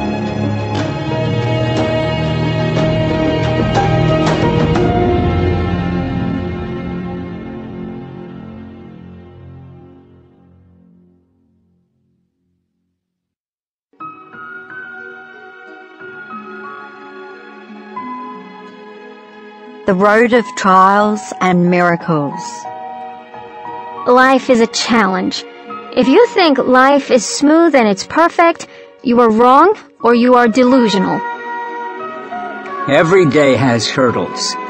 There's nobody who wakes up in the morning without something wrong physically, mentally, emotionally, or spiritually. Except the fact that you're going to have hurdles. Everybody has them. People say, why me? Why not you? American baseball champion Derek Jeter says, The path to your goal is not always going to be smooth. Obstacles will arise and problems will develop. But you have to remember what you're striving for. Don't forget the big picture and don't let small mishaps or small failures stop you challenges and obstacles. Every obstacle or challenge you encounter on the hero's journey transforms you as you acquire strength of character and the qualities and abilities you need to overcome the obstacle or challenge. The emergence of these qualities and abilities shape you into the kind of person you need to become to achieve your dream. For that reason, challenges and obstacles are great indications that you are well along the way on your hero's journey. In fact, the bigger the obstacles and challenges you face, the bigger your success will be, and the closer you are to achieving it. The number one thing people gain from challenges is not the stuff they get, but who they become. When you face a challenge and you overcome that challenge, you have greater faith in yourself, you have greater faith in your abilities, you have greater trust of the divine, and you can do something even bigger. Overcoming obstacles is perhaps the greatest gift, far greater than the stuff that you get, because that's something that can't ever be taken from you. Once you go through a series of challenges, upside downs, capsizing, whatever, you always come out the better because of the tremendous self-confidence gained. If you have ever faced anything in your life that you had no choice but to overcome, you will have found strengths that you didn't know you had. Those strengths you gain form your character and transform you into someone greater than you were before. Women who have given birth know this well. Mothers need to be strong to raise and care for a baby. They need patience, tolerance, determination, and physical endurance. The experience of labor and giving birth prepares them for motherhood with the necessary strengths and qualities to do it well. It's because of her strength through the most difficult times that many of us consider our mother a hero. When you really step up and embrace the challenge, and when you overcome that challenge, that part of you is like, holy crap, you did it. You can't just sit there and say, I love myself. Self-esteem is earned. Challenges and obstacles present all of us with the opportunity to grow and improve and learn, and step outside of our comfort zone and experience what life truly has to offer. The purpose of challenges and obstacles on the hero's journey is to prepare us with the qualities and abilities we will need to maintain our dream when it comes true. Without having the skills to handle success, your dream would go up in a puff of smoke no sooner than it had arrived. So challenges and obstacles are preparation for our success. The course of my journey in business has been like the flow of a river, where each obstacle made me change course, eventually to reach my destination. All my life has been full of challenges. Each challenge was a meaningful coincidence and opened the door to a bigger opportunity. From challenges and obstacles, we gain a full education, and it's part of our success. So many times in life, things have happened, and they didn't go the way I wanted to. But through it, I realize, had I not gone through this, on in life, I wouldn't be as happy or successful as I am right now. There are things in life that are going to happen, but these will be lessons that take you on to your ultimate reward. If I reflect back on my journey, the obstacles and challenges I faced were nothing compared to the obstacles and challenges I faced in my life before I decided to follow my dream. When you have a purpose and you're following your dream, obstacles and challenges don't seem as difficult or as hard as they do when you have no purpose at all. Without a purpose, Challenges or obstacles can appear to have no reason and simply feel like bad luck. However, they do have a purpose because you have to evolve. And so even if you try to hide from life, you will still face challenges and obstacles. My basic philosophy has been, if something good happens, I appreciate it. If something bad happens, I see it as a learning process.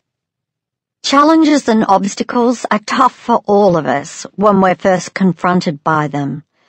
But they're only tough while you haven't found the solution and the way to overcome them. You are never given an obstacle or challenge that you do not have the ability to overcome. Never. Mindset overcomes obstacles. And my mindset is happiness and being grateful, and it always has been that way. I also made a decision to share a lot more financially, and the more you share, the more the obstacles go away. Peter Foyo puts his success down to the use of a handful of principles that he practiced religiously to realize his dream. No obstacle he faces ever deters him. He maintains a positive and happy mindset through constant practice of gratitude. He helps other people wherever he can. And when he is confronted with any difficulty, he uses one of the hero's greatest abilities, visualization.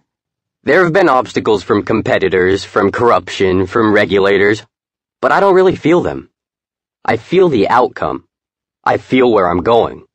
An obstacle is more of a detour. I say, okay, so how are we going to get around that? I visualize something different. Visualize the outcome you want, and you will receive the solution to a problem or the best way to overcome a challenge. But to hear the solution when it's given to you, your mind must be free of worried thoughts. Imagine if you were lost and you asked someone for directions. But while the person was giving you directions and trying to help you get out of your predicament, you kept talking about how lost you were, how being lost was a big problem, how you'd been trying to find your way out, and how you're now worried that you'll never find your way out. You wouldn't be able to hear the directions, even as they were being given to you. If your mind is busy with thoughts of worry or anguish, you can't hear the solution from the universe. I would wake up sometimes sleeping on my friend's floor. I had to get to the early morning class that I signed up for before school starts, and I needed something to motivate me to get there. So I would see this runner in my mind. I guess it was supposed to be me, but I only ever saw her back. And she was running down a track by herself. I saw these physical hurdles and she would jump the hurdles and jump the hurdles. I would lie there picturing this runner so I could get myself up to go. I would say, okay, you're tired. That's a hurdle. Your work, you did it last night. You jumped a hurdle. Taking the train ride down there with no breakfast, you're starving. Hurdle, hurdle, hurdle. And I would see her jumping the hurdles with her sinewy back and sweating under the sun. So every time something got in my way, what if it was just another hurdle? Because a hurdle is not separate from the track. A hurdle is part of the track, and it wouldn't be an indication that I was off my track. When things were in the way, that was just part of the course. And eventually, if I jumped those hurdles enough, I would reach my finish line. I didn't know how, but in the darkest times, because I so believed in this product, I knew I was going to crack it, if you stay in it and you ask the universe, it delivers. A hindrance to anyone being successful is when there's rejection, they give up. One of the keys to becoming successful at anything is to be prepared for a lot of rejection, and don't let it affect you. A lot of people aren't prepared when they start something, and they figure they're a failure, and it stops them. If all these rejections didn't happen, I could never have started John Paul Mitchell Systems. Failures and mistakes. Warren Buffett says, We make mistakes. It wouldn't be any fun if we didn't make mistakes. If I went out and played golf and every one of the 18 holes I hit a hole in one, I wouldn't be playing golf for very long. I mean, you have to go into the rough occasionally to make the game interesting. Not too often, though. If you take the time to reflect back on some of your so-called failures and mistakes or setbacks and disappointments, you realize they are all necessary parts of our journey. How does a baby get up and fall down? That takes a lot of guts. The whole process of going from zero to five has a lot of obstacles, but you learn from your mistakes. You have to be willing to subject yourself to failure. I know that for me, the greatest lessons come from the failures not from the successes. That's what leads us closer to our dream. If you haven't acquired the necessary qualities of discernment or good judgment to realize your dream, failures and mistakes will ensure you develop them. You could put your trust in something because of what someone else said and it fails. You could make a decision without thinking things through and find you've made a big mistake. When you reflect back on the failure or the mistake, however, you might see there were red flags or warning signs you ignored that were telling you something wasn't right. In other words, you ignored your intuition. Mistakes are really a learning opportunity. And the only mistake is not learning the lesson the first time. And the great thing about the universe is it will keep providing you with the same lesson until you learn it. You might see that you needed to do your own research and not trust in other people's opinions so blindly. Or you might see that you needed to think things through more carefully before taking a big action. Wolfgang Puck, well-known restaurateur and businessman, says, I learned more from the one restaurant that didn't work than from all the ones that were successes. We must celebrate failures. for they arise out of action and therefore become the greatest grounds for learning. And we must concentrate on that learning so that mistakes do not get repeated. To encourage new ideas, new approaches, experimentation, and innovation, a mistake should not be censured. When you take responsibility for your failures and mistakes without blaming anyone else, and you look for the lessons hidden within them, they become powerful tools for your advancement on the hero's journey. Mistakes and failures are inevitable. Whether you extract the magic they contain is up to you. There's a formulaic process. First, you have to believe that it's possible. Then you have to be willing to fail. You get back up and do it again. And pretty soon you're like, wow, I'm going. And then I'm getting a little better. And then I'm good at this. And pretty soon you're at the top. And then you realize it wasn't about getting to the top. It was about that process. And you get addicted to the process of it. Miracles. I have been very grateful for the moments that have happened and realized that we're not that independent. We're very dependent. Not just on oxygen, but on good fortune, good timing, and other people. There may be trials on the hero's journey, but you're also going to experience the miracles that happen along the way. In truth, the miracles far outweigh the trials.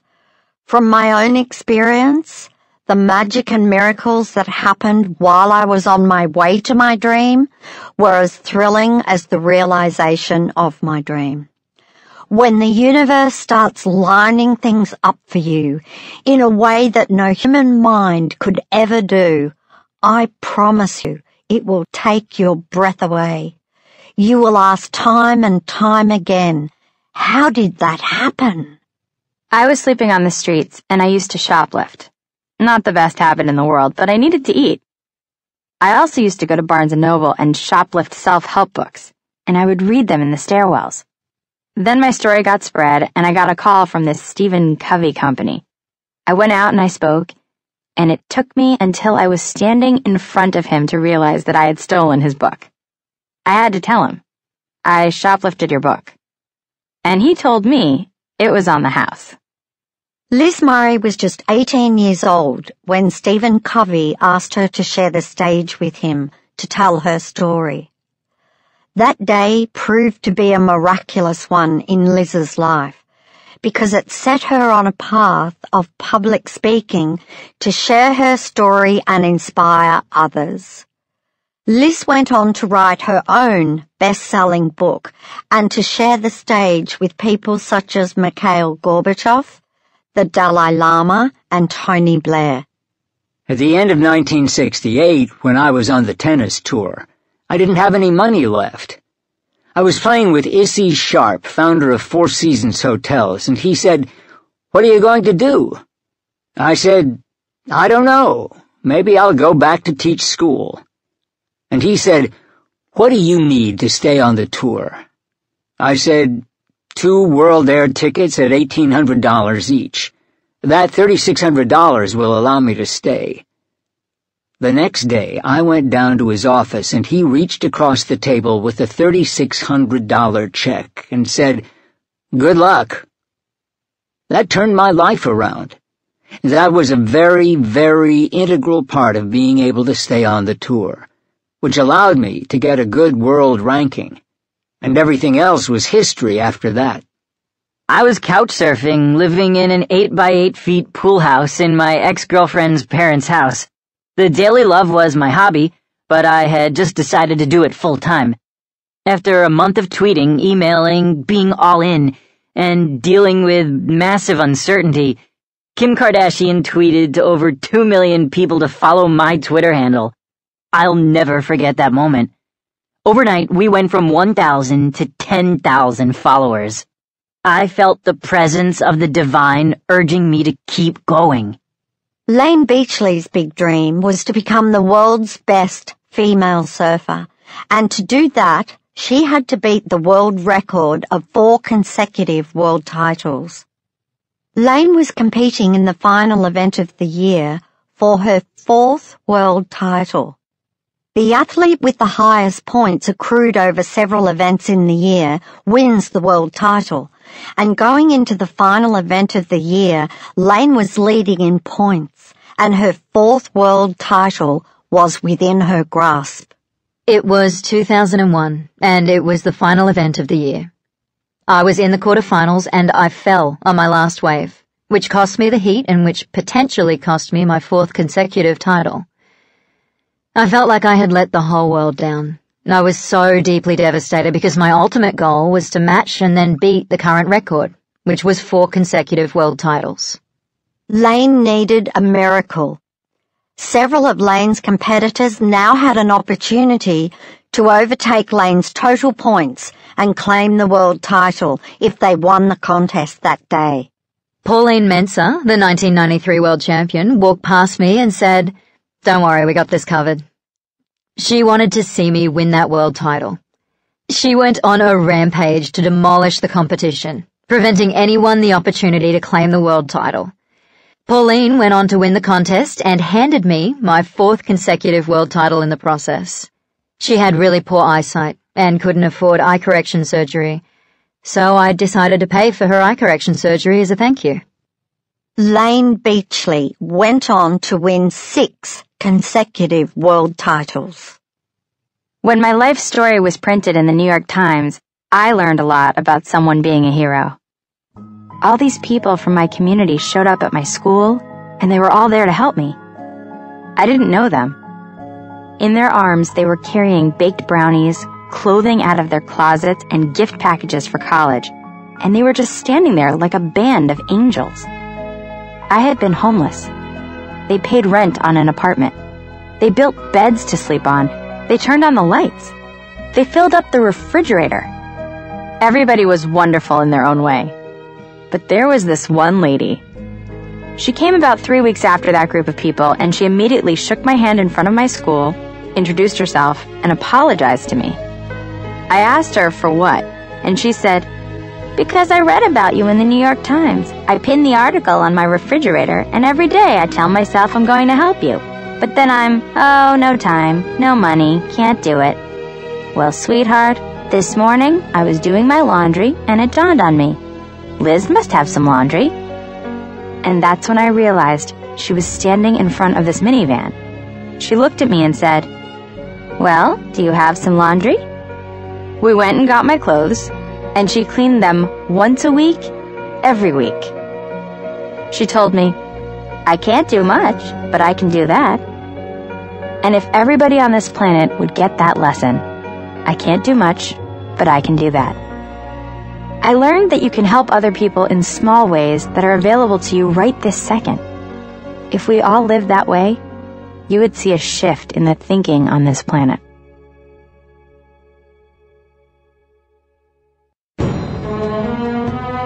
The Supreme Ordeal. Unless you want to wake up and do the same thing every day, you need to be a fighter. You need to be a warrior if you want to make a difference if you want to be significant. I wanted to be significant. I wanted to do things that would change my life and would change people's lives. I cannot be ordinary.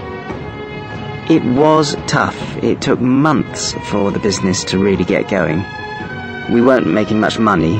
Hardly anyone knew about the internet back in 1998, so we had barely any customers buying our product. One of our friends would order from us every month under a fake name just to give us the bit of confidence to cheer us along to keep going. We were close to giving up.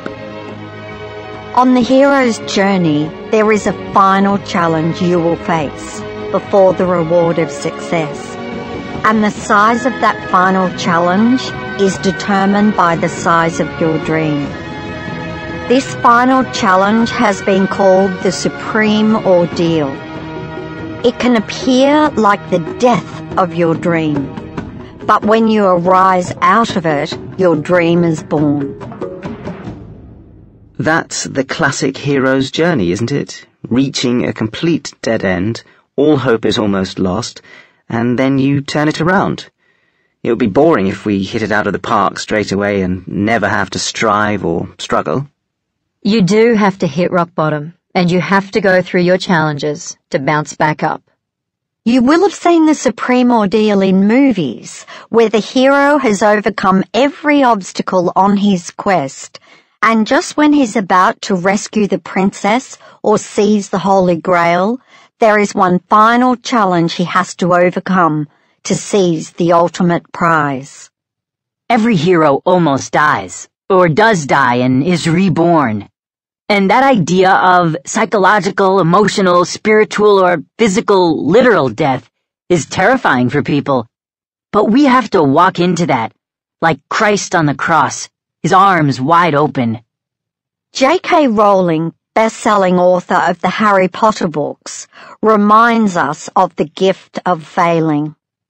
Had I really succeeded at anything else, she says, I might never have found the determination to succeed in the one arena where I truly belonged. I was set free because my greatest fear had been realized and I was still alive and I still had a daughter whom I adored and I had an old typewriter and a big idea. And so rock bottom became a solid foundation on which I rebuilt my life. I worked for a company and ran two full positions for them. Even though they were up, they said I wasn't their type of manager and fired me. I went to work for another company. After one year, they fired me because I didn't hang out with them on the weekends. Next company I worked for, I tripled their sales. And one day the owner of the company said, I'm sorry, but we have to let you go because we have someone that could do your job for half the money. And then I started John Paul Mitchell Systems. Two years into John Paul Mitchell Systems, I realized something. Had I not worked for those three companies that fired me, it would have been virtually impossible to start John Paul Mitchell Systems, because each company taught me something. Even though I was fired, it was like the universe was moving me on, teaching me various things along the way, whether I knew it or not.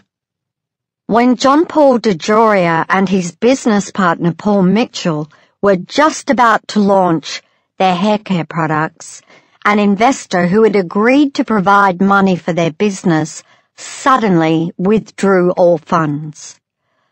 John Paul and his partner were left with massive commitments, no way of paying their bills, and no way of surviving the next 45 days until their clients paid their accounts.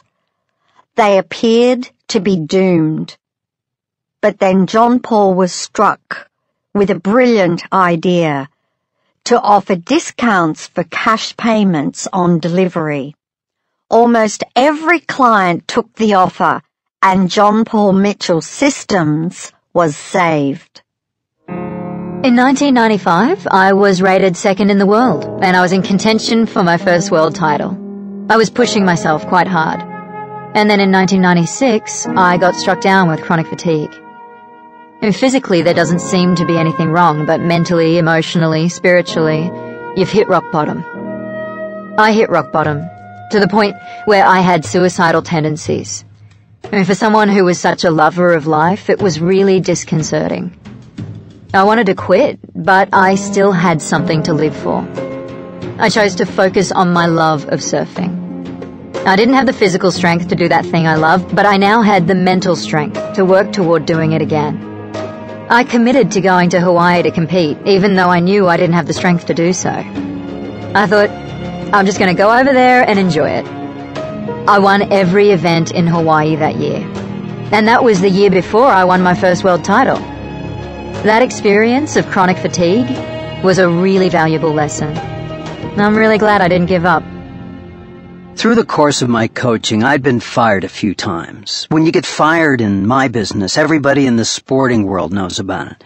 It's in the newspaper, it's on the news. It's a big deal. It's not like you get fired and you have to go home and just deal with your wife. You have to deal with everybody else. It's a tremendous challenge. But, okay, this happened, and there must be something in this that's going to help me be better and stronger down the road. That's where the epiphany hit. That I had worked a long time but hadn't dug deep enough to really get in touch with what was important to me so I could bring it out in my next program. My back was to the wall, and I didn't know if I was going to get another chance, but if it did happen, I was going to be ready. The opportunity arose to go to USC, and we set out with this vision that we were going to do things better than it's ever been done before. When things go wrong and we get uprooted, what if that's not life being against you, or life being harsh? What if those moments are a divine storm? And what if those moments are happening because all the things that don't serve our greatest potential in our spiritual path are being uprooted not to punish you, but for your best interests? What if your worst week or your worst day was divinely sent, and actually your greatest day? Anastasia Soare was on the brink of releasing her eyebrow product range when her key investor pulled out. Suddenly, Anastasia needed $2 million to market, sell, and distribute a warehouse full of her product, and had just seven days to either find the money or abandon her dream. Rather than quit, Anastasia taught herself everything about the business of marketing, sales, and distribution. Due to her ingenuity and tenaciousness, Anastasia's eyebrow products left the warehouse and went on to become a phenomenal success across the United States and throughout the world. I launched this games company, Mind Candy, in 2004, and the first game we created was very creative, but it was a commercial disaster. Moshi Monsters was our last roll of the dice, our last chance to build a successful game. We built it, but it used up all the money we had, so at the end of 2008, we basically ran out of cash. My gut instinct was screaming at me that there was some magic here and something really special with this product, but we couldn't find anyone to invest. That period was the biggest obstacle and the craziest time because I had a team of people that I needed to pay, and we came within a hair's breadth of having to declare bankruptcy and shut the business down. Oh, all those long, dark nights, waking up at 4 a.m. in the morning, tossing and turning, not knowing how you solve these awful problems. Luckily, I found another angel investor that put in some money, and just before Christmas, we had enough money to pay the staff salaries and to keep the lights on. And the very next month, we launched our subscription service, and we have been profitable ever since. The Chinese have a saying, crisis is opportunity. It's a truism that every failure contains the seeds of a new opportunity. My dream for the Secret film was that it would be released in every country in the world simultaneously. I had convinced myself that the only way to do that would be through multiple television networks across the planet, airing it within a 24 hour period. In the beginning, when the idea of The Secret was first born, international television networks had shown real interest in the project. However, once the film had been completed, without ever seeing it, one by one, the international networks withdrew their interest. We had completed the film, I was $3 million in debt, and we had no visible way to release our film to the world. Then we heard about a company that had created new technology to stream advertisements on the internet. A new possibility to release our film had appeared. Our team worked frantically with the company to expand the technology to cater for a full-length film. And The Secret was released via live streaming on the internet the first film to ever be watched in this way. The technology allowed The Secret to be watched across the planet within a 24 hour period, just as I had dreamed. Actor Jim Carrey says, It is better to risk starving to death than surrender. If you give up on your dreams, what's left? The truth is, while the supreme ordeal might sound scary, You probably won't even realize that's what it is when you face it. When you reach this final challenge, you are well prepared. To come this far means you have already realized the powerful abilities within you, and you have everything you need to meet and to triumph over the supreme ordeal.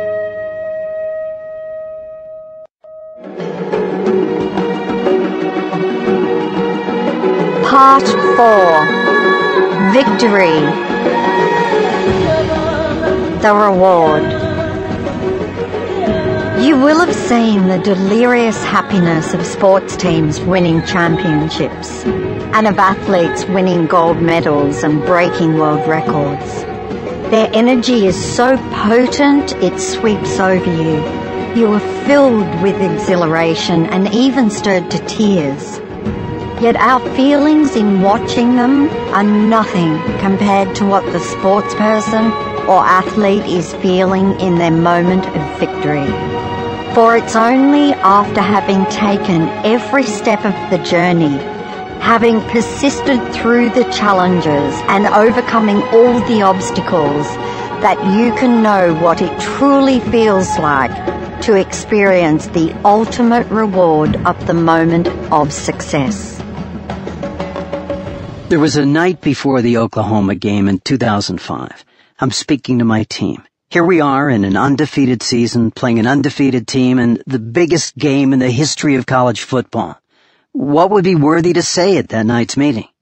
I walked in and told them that we had created exactly what we set out to do. We wanted to do this better than it's ever been done before, and we'd won a ton of games in a row, and now we're playing the biggest game you could possibly play. We had bought into the vision. We'd worked until we created it, and there was no chance they could beat us. But th- that wasn't the lesson. The lesson for us was that through setting a course and creating a vision, you can achieve exactly what you want to. And we went out and won the game real big. I've truly had one of the most wonderful lives possible. Today we're the only survivors of all those original 17 companies that started out. To now take tennis to 134 countries. The vision has been met. One of the most exciting points in my career was in early 2009 when we launched our subscription service. The product that we built for free, we were now asking parents to pay about £5 a month. Our very small team was crowded around the computer when we put it live, and we sat there watching the screen. Within five minutes, we had our first order and made our first five pounds. We were all hugging each other and jumping up and down, and then before we had a chance to compose ourselves, we had a second order come through, and then a third hit, and then a fourth. We were so overjoyed that mums and dads were prepared to pay for this product that we had poured all of our hearts and souls and energy into. It's such an extraordinary feeling. I had this beautiful moment where I got into Harvard and I had the scholarship, and I got a chance to speak with one of the first audiences. I used to say to my friends, this stuff that's happening feels like a movie. It feels like a book. And then sure enough, they made a movie journey. And then I wrote a book. It reinforced for me that there is magic in this world. It's incredibly to be able to reflect back on a career and go, I did that? I can't believe I did that. I mean, sometimes I still can't relate to the person that I was when I was winning all those world titles. But I'm very grateful for it. To be able to have the opportunity to change other people's lives just by following my own dream is incredibly satisfying. To start with such a big dream and to have it manifest itself into a reality brings joy to my heart. It's like a fairy tale. All the challenges, all the failures, all the crashes and injuries and wounded hearts were far beyond worth it. I wouldn't change one instant if it would change where I've arrived. Life has given me more than I ever dreamt. If I hadn't followed my dream, I would have led an ordinary life. I have the best life, like a movie. I do what I love. How blessed are you when you do what you love? I enjoyed the journey, and I still enjoy every single day like it's a new day. It's the best feeling to have no regrets at the end of life. The ultimate reward of the success of your dream does not mark the end of the journey, but the beginning of another. Suddenly, financial rewards and countless opportunities to expand or build on your dream will flood into your life. The money, opportunities, and success bring with them a glorious sense of freedom, but they don't compare with the overwhelming joy and satisfaction that you did it. Out of nothing, you made something. Every morning, I start by asking what I want to do with this particular day. That's freedom. I have the freedom to travel and freedom to create and design my life however I want. I'm completely location independent, so I can run my business from Bali, from Maui, from India, from South Africa, from New York. That freedom is so cool. Even though I'm traveling, I'm still able to make money and run a business. That's just thrilling. And the coolest thing is, I can wake up whenever I want. I used to hate getting up for school in the morning. It was the worst. The bigger the dream, of course, the bigger the money is. Any dream has to have a financial reward. When success comes, most likely you will find yourself standing in a place where, perhaps for the first time in your life, you can buy things you've always wanted to buy. You can travel to places you've always wanted to go and you can do things you've always wanted to do. Along with that, you have the incredible opportunity to be able to share your success with family and friends so that their lives can improve too. There are two things that have been extremely rewarding. Being able to give back and having the resources to help other people. I finally am able to give at the level that I've always wanted to give. The people I was struggling with when I was homeless are my family to this day. People I have known now for 16, 17 years. And when I had a little bit of money, I got so excited because I was able to create experiences for all of us. We started with our needs. We all went to the dentist. A couple of my friends needed rent and an apartment. We took care of the rent. My friend's dad had cancer and needed surgery we were able to get him the surgery. I was able to have a roof over my head. Being able to take care of the people that I love, being able to contribute something and make people's lives better, brought me tremendous joy. That's been one of the most rewarding experiences in my life. I was born into quite humble beginnings, and while we didn't have much money, we had each other. I was very fortunate to have been brought up in an environment of safety and security, surrounded by the love of my family. My parents worked really hard all their lives, but they never had much money. When my father died, my mother was not only left without the love of her life, she was also left with little money, and she had no income. My father died before the success of The Secret, so he never got to see that dream materialize. But my mother did. She had spent her whole life barely making ends meet, and then after the secret, all of that changed. I remember one particular day when my mother called me in tears. She had gone into a store and purchased several items of clothing for herself. She was in tears because for the first time in her life, she had purchased clothes without having to ask how much they cost. If you've been lucky enough to have a parent who has dedicated their life to your growth and well-being, then you will understand how I felt that day. Nothing I could ever give to my mother would equal what she had given to me in my life. Some people say, why do you still work? And I say, because I'm making a difference, and I'd like to continue to do that while I'm here. Working for the joy of it. There's no better feeling in the world than to have found your dream and be living it. To work for the sheer joy of it.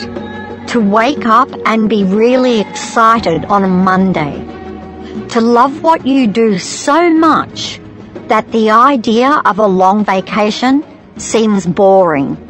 That is living. Back in the late 70s, early 80s, I lived in Hawaii. At 6 o'clock in the morning, I'm on the elevator. I've got a 6.30 tennis lesson, and I'm looking around and I'm thinking, these poor people have to go to work at this hour. I just never really felt like I've gone to a job or done any work at all. I love what I do. I look forward to going to my office. I look forward to seeing people I work with. I chose this way of life, and it's a good one.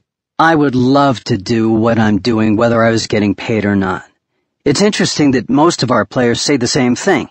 It's great that we're professionals and we get paid well to do this, but we would do it anyway. You're fortunate to have the opportunity to feel that way about what you do. A lot of people say if I made money, if I was successful in business, I would retire at age 30. It just so rarely happens because the people who have that drive and that big dream and vision to build something amazing are not the sort of people who just want to put their feet up and retire.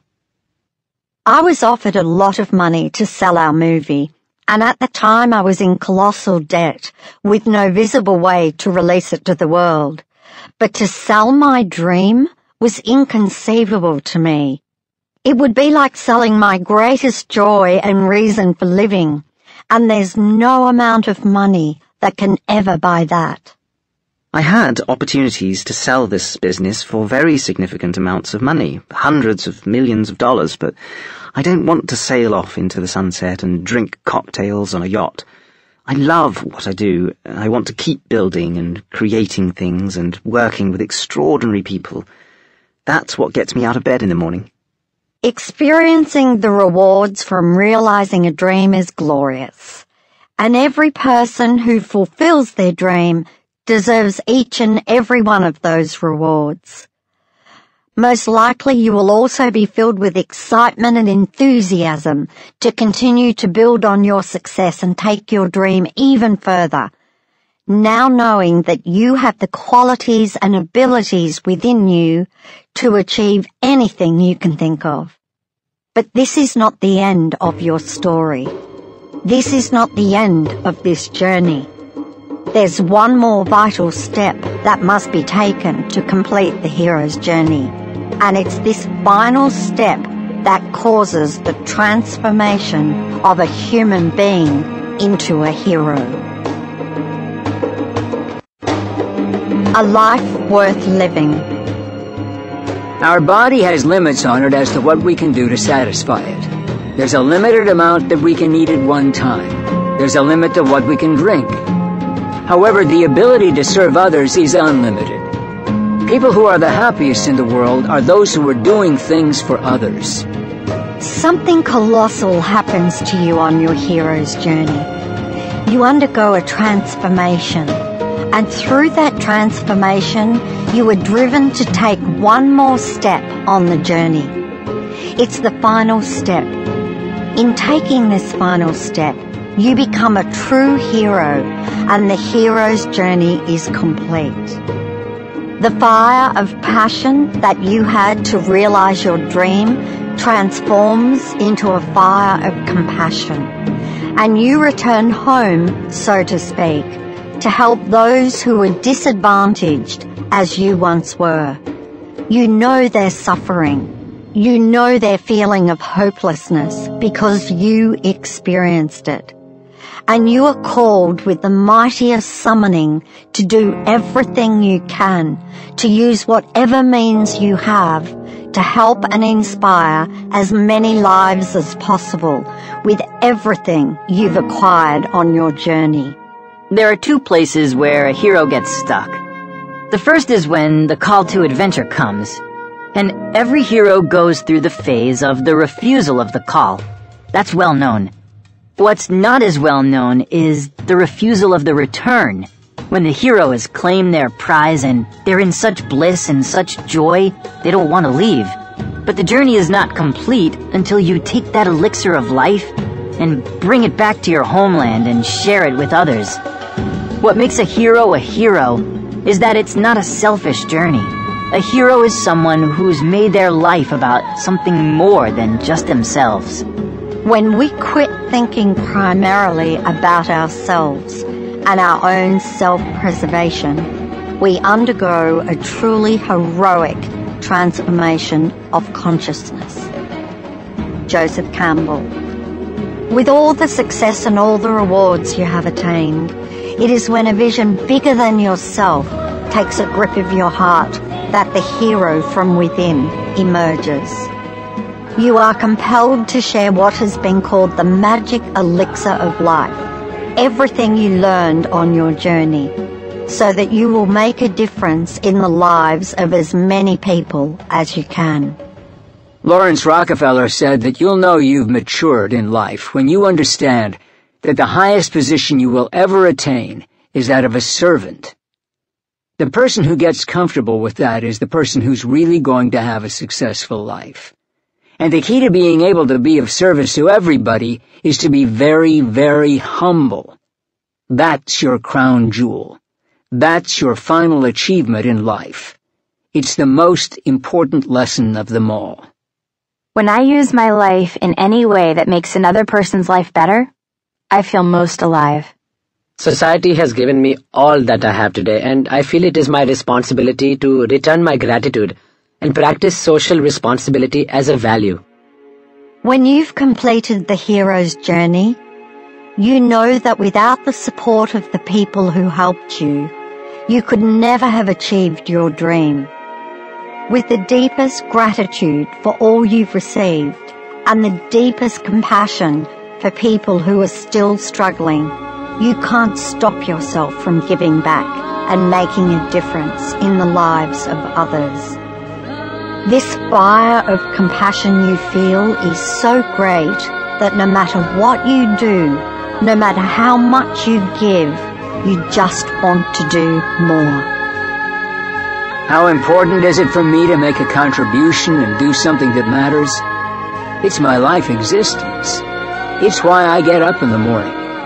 It's what allows me to put my head on a pillow at night and feel a tremendous sense of satisfaction.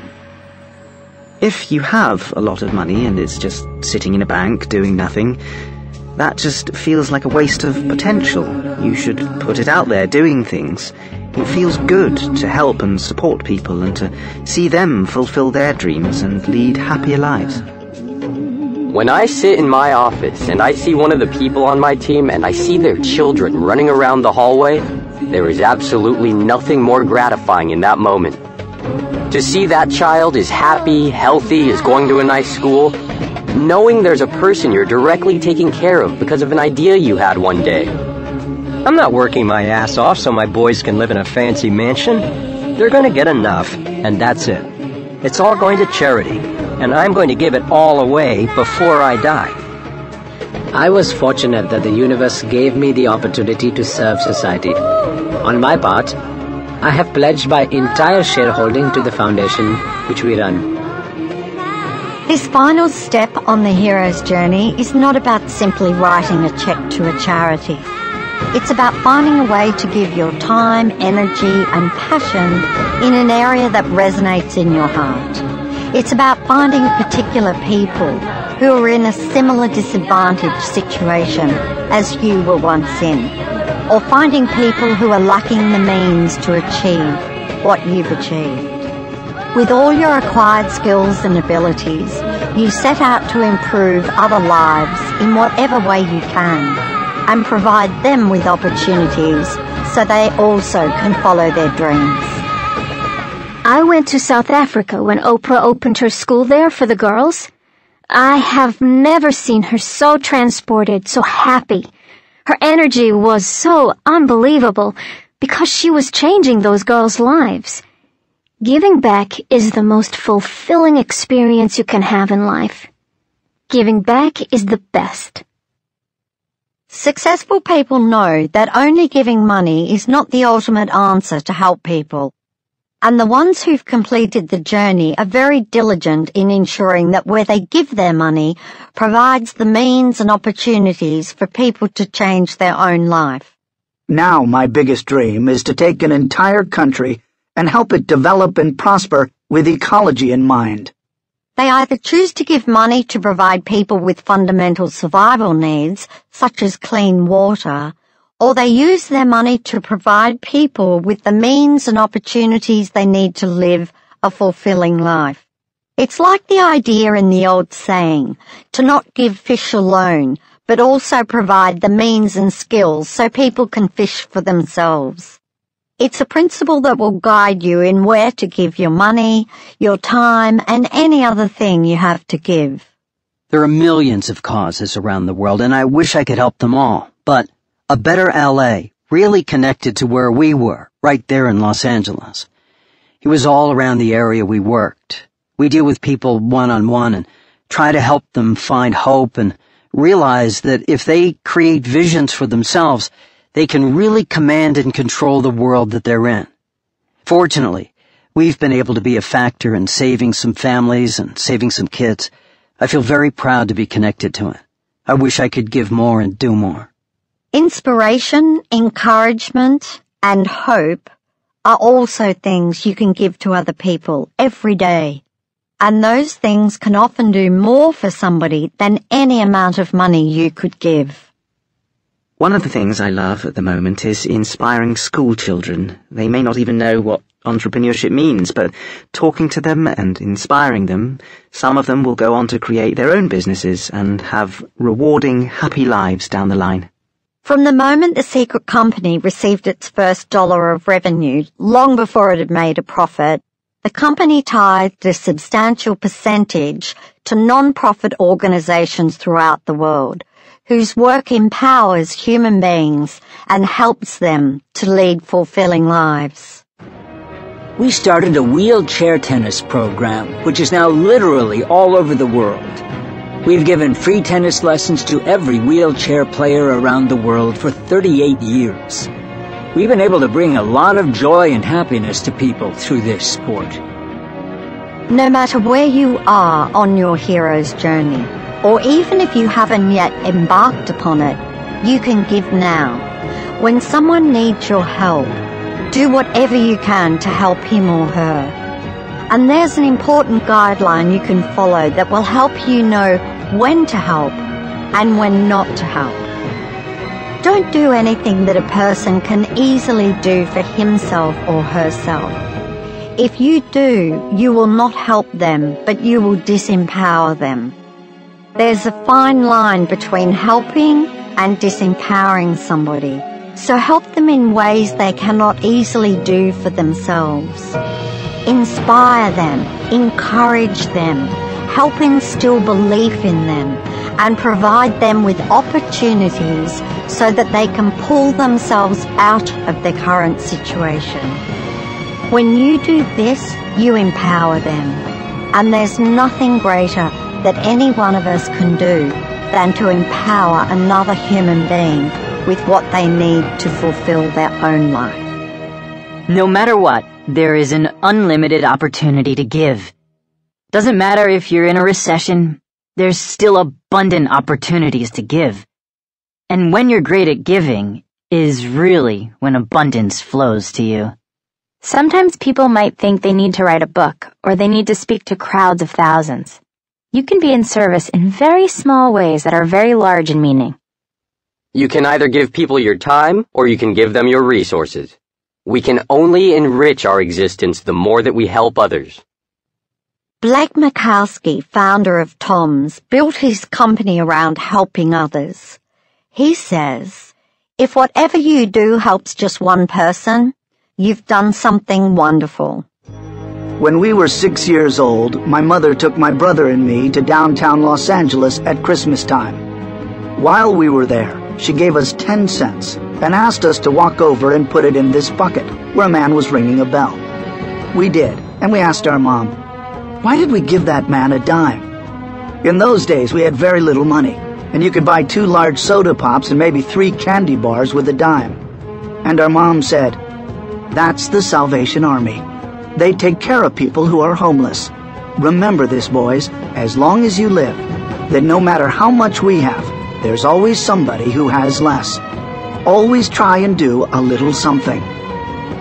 That instilled in me to give back no matter what you have, which I think is part of someone becoming successful. A success unshared is failure. When you give back in whatever way you can, no matter how big or small, the happiness you feel in knowing you have helped another human being will never leave you. In fact, the joy and happiness you feel is so great that it can make you wonder whether the reason you were called to follow your dream was really so that you would reach this final step on the hero's journey, where a vision greater than yourself would take over you. When you ask people about their dreams and it gets to the bottom line, it's always because I want to make people's lives better. It's a desire we have inside of us that I think we're born with, and it's part of fulfilling our destiny to be here. I only wish to figure out how to do more and make a bigger difference. And as I continue in that direction, I think I may realize, at the end, that my goal was more to make a difference than it was all the other things.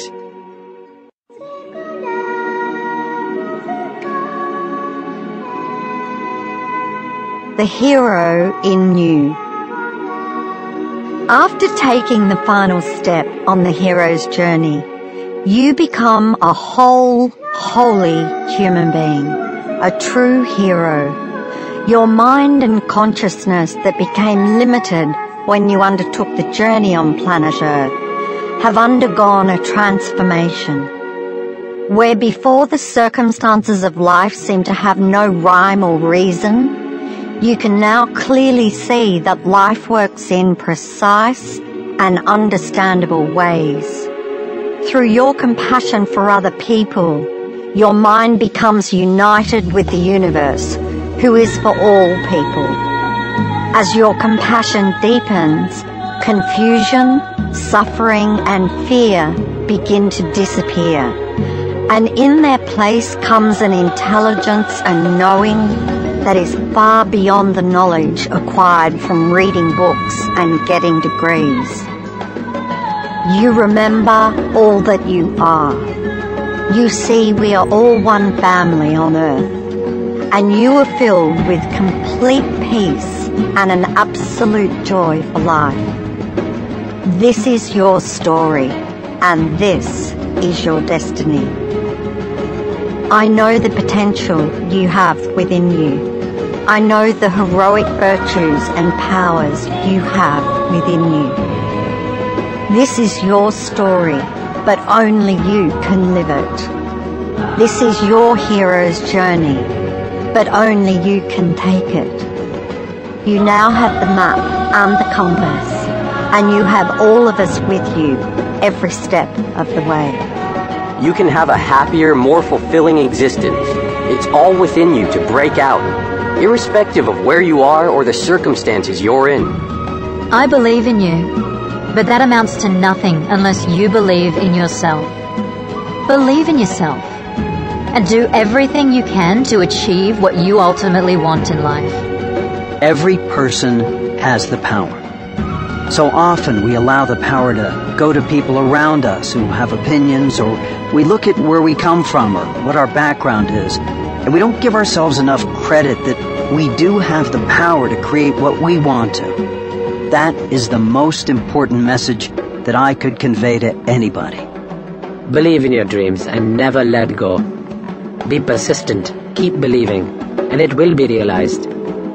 Every journey starts with a dream, and your full faith and belief in your dream will pave the way. The big difference between successful people and unsuccessful people is the successful ones don't expect anything. Go out there and do it yourself. If you don't succeed, keep on trying until you do. Everyone has that power. You have that power. In the end, what we make of this life all comes down to interpretation. It's the story we tell ourselves about who we are and why we're here that determines the quality of our experience. The good news is, you can change that story anytime, for you are and always will be the sole author of your life. What can I do? How loud can I yell for everyone to hear me that you are a hero? Every single human being is a hero. You can be a hero in your own world.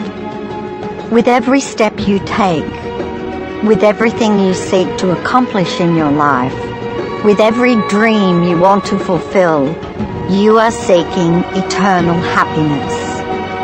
And you will continue to seek that eternal happiness up every hill and down every dale until eventually, at the end of the hero's journey, you will discover that the eternal happiness you've been looking for is in the discovery of who you really are.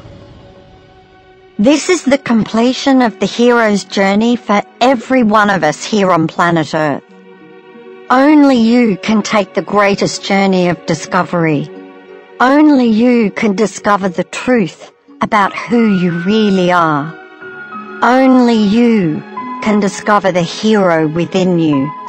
Until that time, every day of your life, throughout the eons, the hero within you will continue to call.